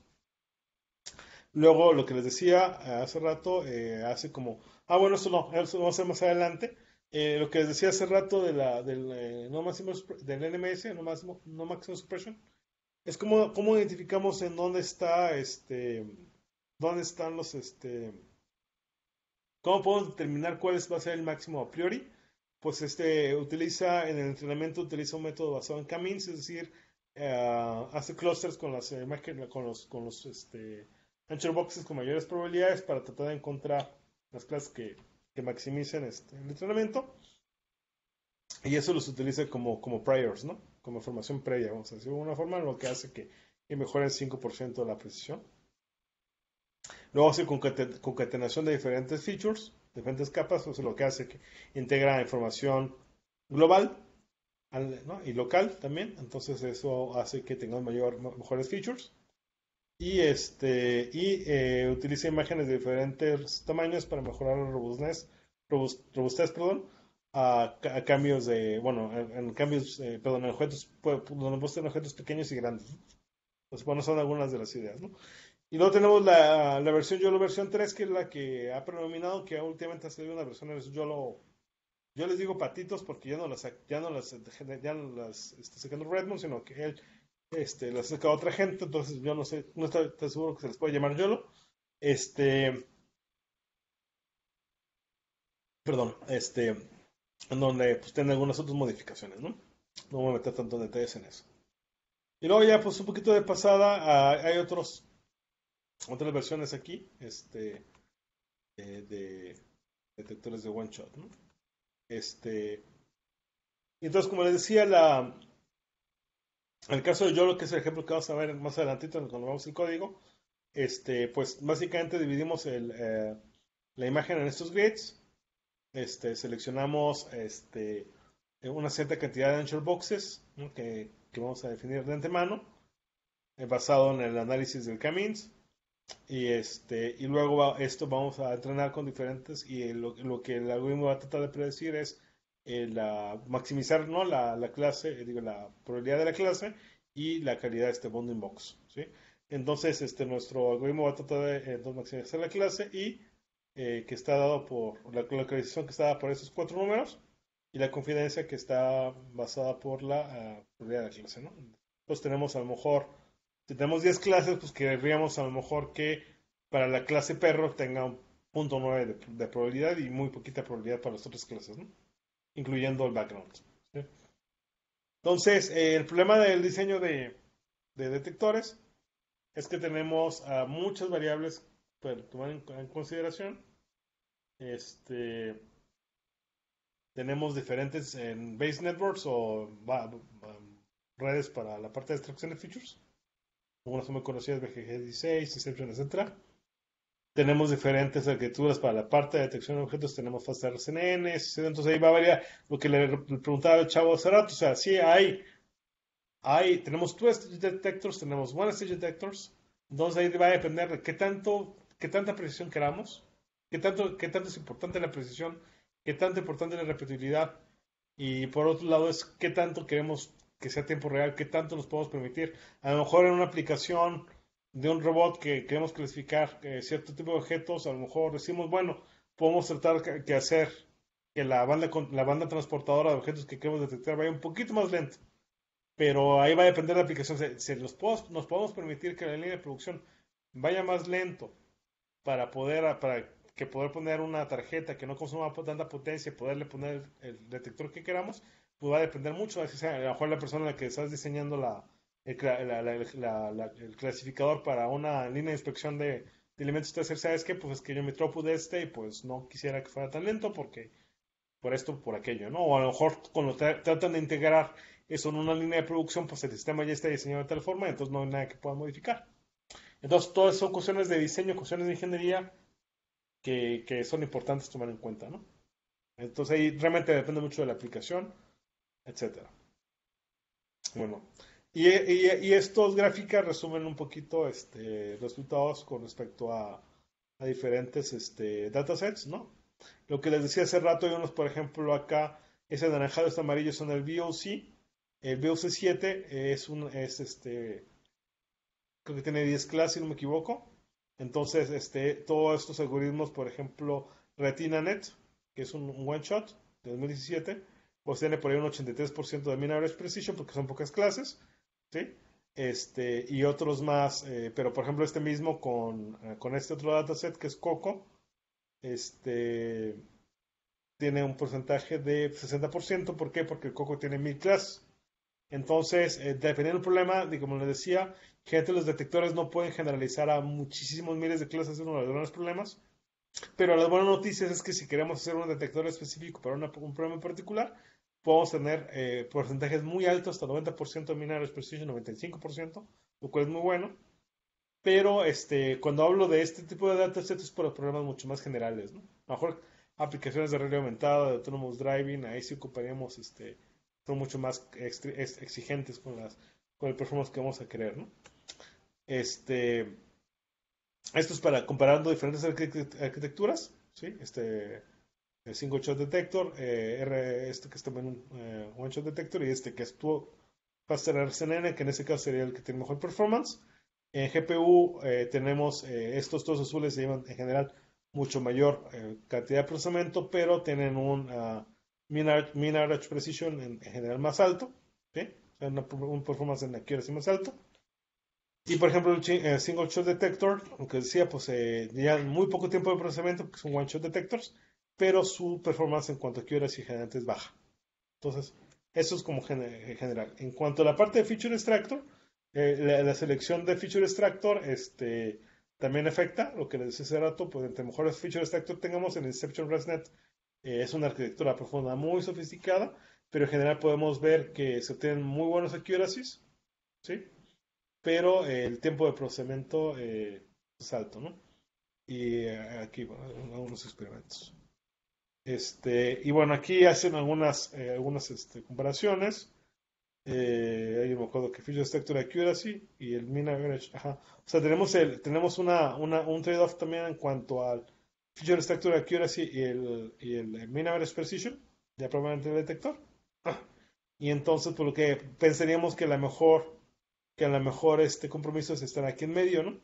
Entonces, este, para ese caso, los mejores son Inception V2 y ResNet 101, ¿no? Como feature extractors. Y bueno, aquí vamos en la 104, hay como 170. Eh, aquí dejé algunos, algunas slides para, para familiarizarlos para las personas que, que no, este, igual les puedo mandarles slides, este, no me quiero detener tantísimo tiempo en esto, pero este, más para que conozcan también una, un poco la evolución de cómo ha cambiado el panorama de la detección de objetos con los años. Voy a pasar un poquito rápido para que entiendan cómo ha ido evolucionando esto con el, el avance de la Internet. Entonces, por ejemplo, eh, cuando yo hice la maestría, hace como 15 años, este, el más, el más famoso era el Pascal Visual Object Classes Challenge, ¿sí? Pascal VOC. Este, y fueron los más importantes. Este, este, hay dos versiones. Este de 5.000 imágenes de entrenamiento con 12.000 objetos anotados. ¿sí? Y otro más reciente que es el 2012, que tiene 12.000 ejemplos de entrenamiento y 27.000 objetos anotados. Es decir, tenemos 12.000 imágenes que contienen 27.000 objetos diferentes en la misma imagen. Bueno, ya combinado. Y, este último tiene 20 objetos, 20 clases, perdón. Eh, ya no se utiliza mucho. A veces se utiliza como test bed, o sea, se puede dejar estas poquitas imágenes para la parte de testing. Y luego otro, en el 2014 hubo este, el ImageNet, que es el que les decía, que, que, que ganó famoso AlexNet, que es el ImageNet Large Scale Visual Recognition Challenge. Este tiene, por orden de magnitud, muchísimas más imágenes. Tiene 517.000 imágenes de entrenamiento y 534.000 objetos que tienen esta estructura más o menos. Y luego está uno de los más grandes que es el Coco, que es básicamente el más utilizado. Este tiene 664.000. Eh, tiene menos categorías que, el anterior, pero contiene más eh, instancias de los objetos. Entonces, en este caso tiene 674.000 objetos de entrenamiento y 897.000 anotaciones eh, para 80 clases de objetos. Y tiene este, más ejemplos, más ejemplos pequeños, que eso no es tan trivial, ¿no? Este, y uno de los más recientes de 2018 es este de eh, Open Images Detection, que tiene 600 categorías, ¿sí? Este, y hay dos tareas típicamente para este dataset, es la la detección de objetos estándar y luego que lo que les decía el otro, la relación, relación de objetos, ¿no? Para tratar de identificar eh, pares de objetos, ¿no? Por ejemplo, para cosas de, contexto, por ejemplo. Este es una, un, resumen de los diferentes datasets. Y hay otros datasets importantes que eso se lo va a pasar muy rápido. Hay algunos exclusivamente para, para peatones, que van de 2000 hasta 2018. Hay para detección de caras que van del 2010 hasta 2018 también, que varía la complejidad ¿no? de, las caras. Algunas son para, para, este, para aplicaciones de vigilancia. Hay unas de, detección de texto que tienen muchas aplicaciones, a todo cosas de realidad aumentada. Este, de signos de tráfico, hay un montón también. Y bueno, eh, como la evaluación, que es lo que les decía hace rato, que estuve ya mencionando un poco, a lo mejor se lo que ver antes, pero bueno, Eh, hay diferentes métricas que se utilizan para ver qué tan bueno es un, este, detector. Entonces tenemos este tenemos por ejemplo a la precisión promedio, eh, que es una de las métricas de, más utilizadas en años recientes.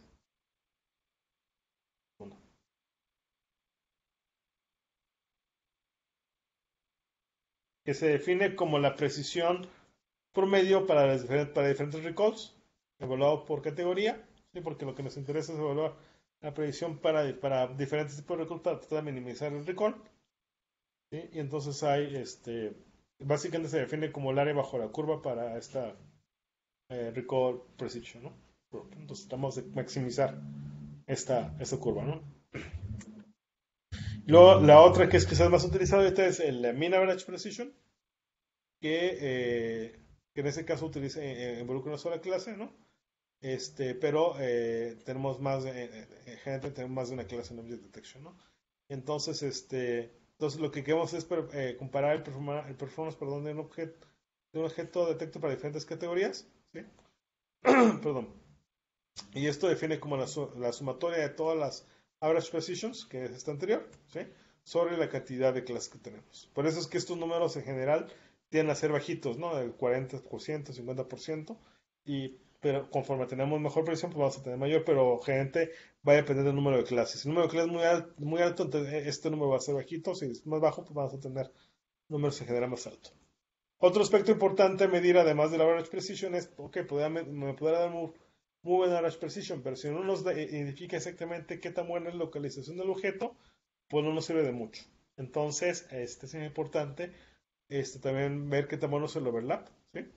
y eso se mide con esta métrica que se conoce intersection over union, que es este, qué tanto overlap hay y qué tanto es el área de la unión, ¿no? Entonces, este, e, este es como lo ideal, ¿sí? Es lo ideal y esto es qué tanto overlap hay. Entonces, gente queremos que sea tan alto como sea posible, o sea, que este overlap sea tan alto para que esto, porque si esto es muy bajito, la verdad es muy pequeño, vamos a tener números menores a 1, si tenemos que son casi iguales, vamos a tener un 1, entonces quisiéramos que esto fuera idealmente mayor a 1, digo, perdón, eh, cercano a 1. Y como threshold, eh, muchas competiciones utilizan punto .5, ¿sí? hacia arriba, este, y cuando nos queremos poner más estrictos, punto .7 o punto .9. ¿sí? Entonces lo que digo aquí, ¿no? Que en, algunos casos hicimos este punto .95. Muy bien, entonces ya viene la parte final, sí, de los ejemplos.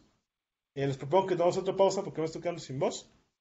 Y este, pero antes de irnos a pausa, este, no sé si tengan alguna pregunta de ahorita. Me, lo estoy logrando aumentar en tres horas, ¿eh? Este.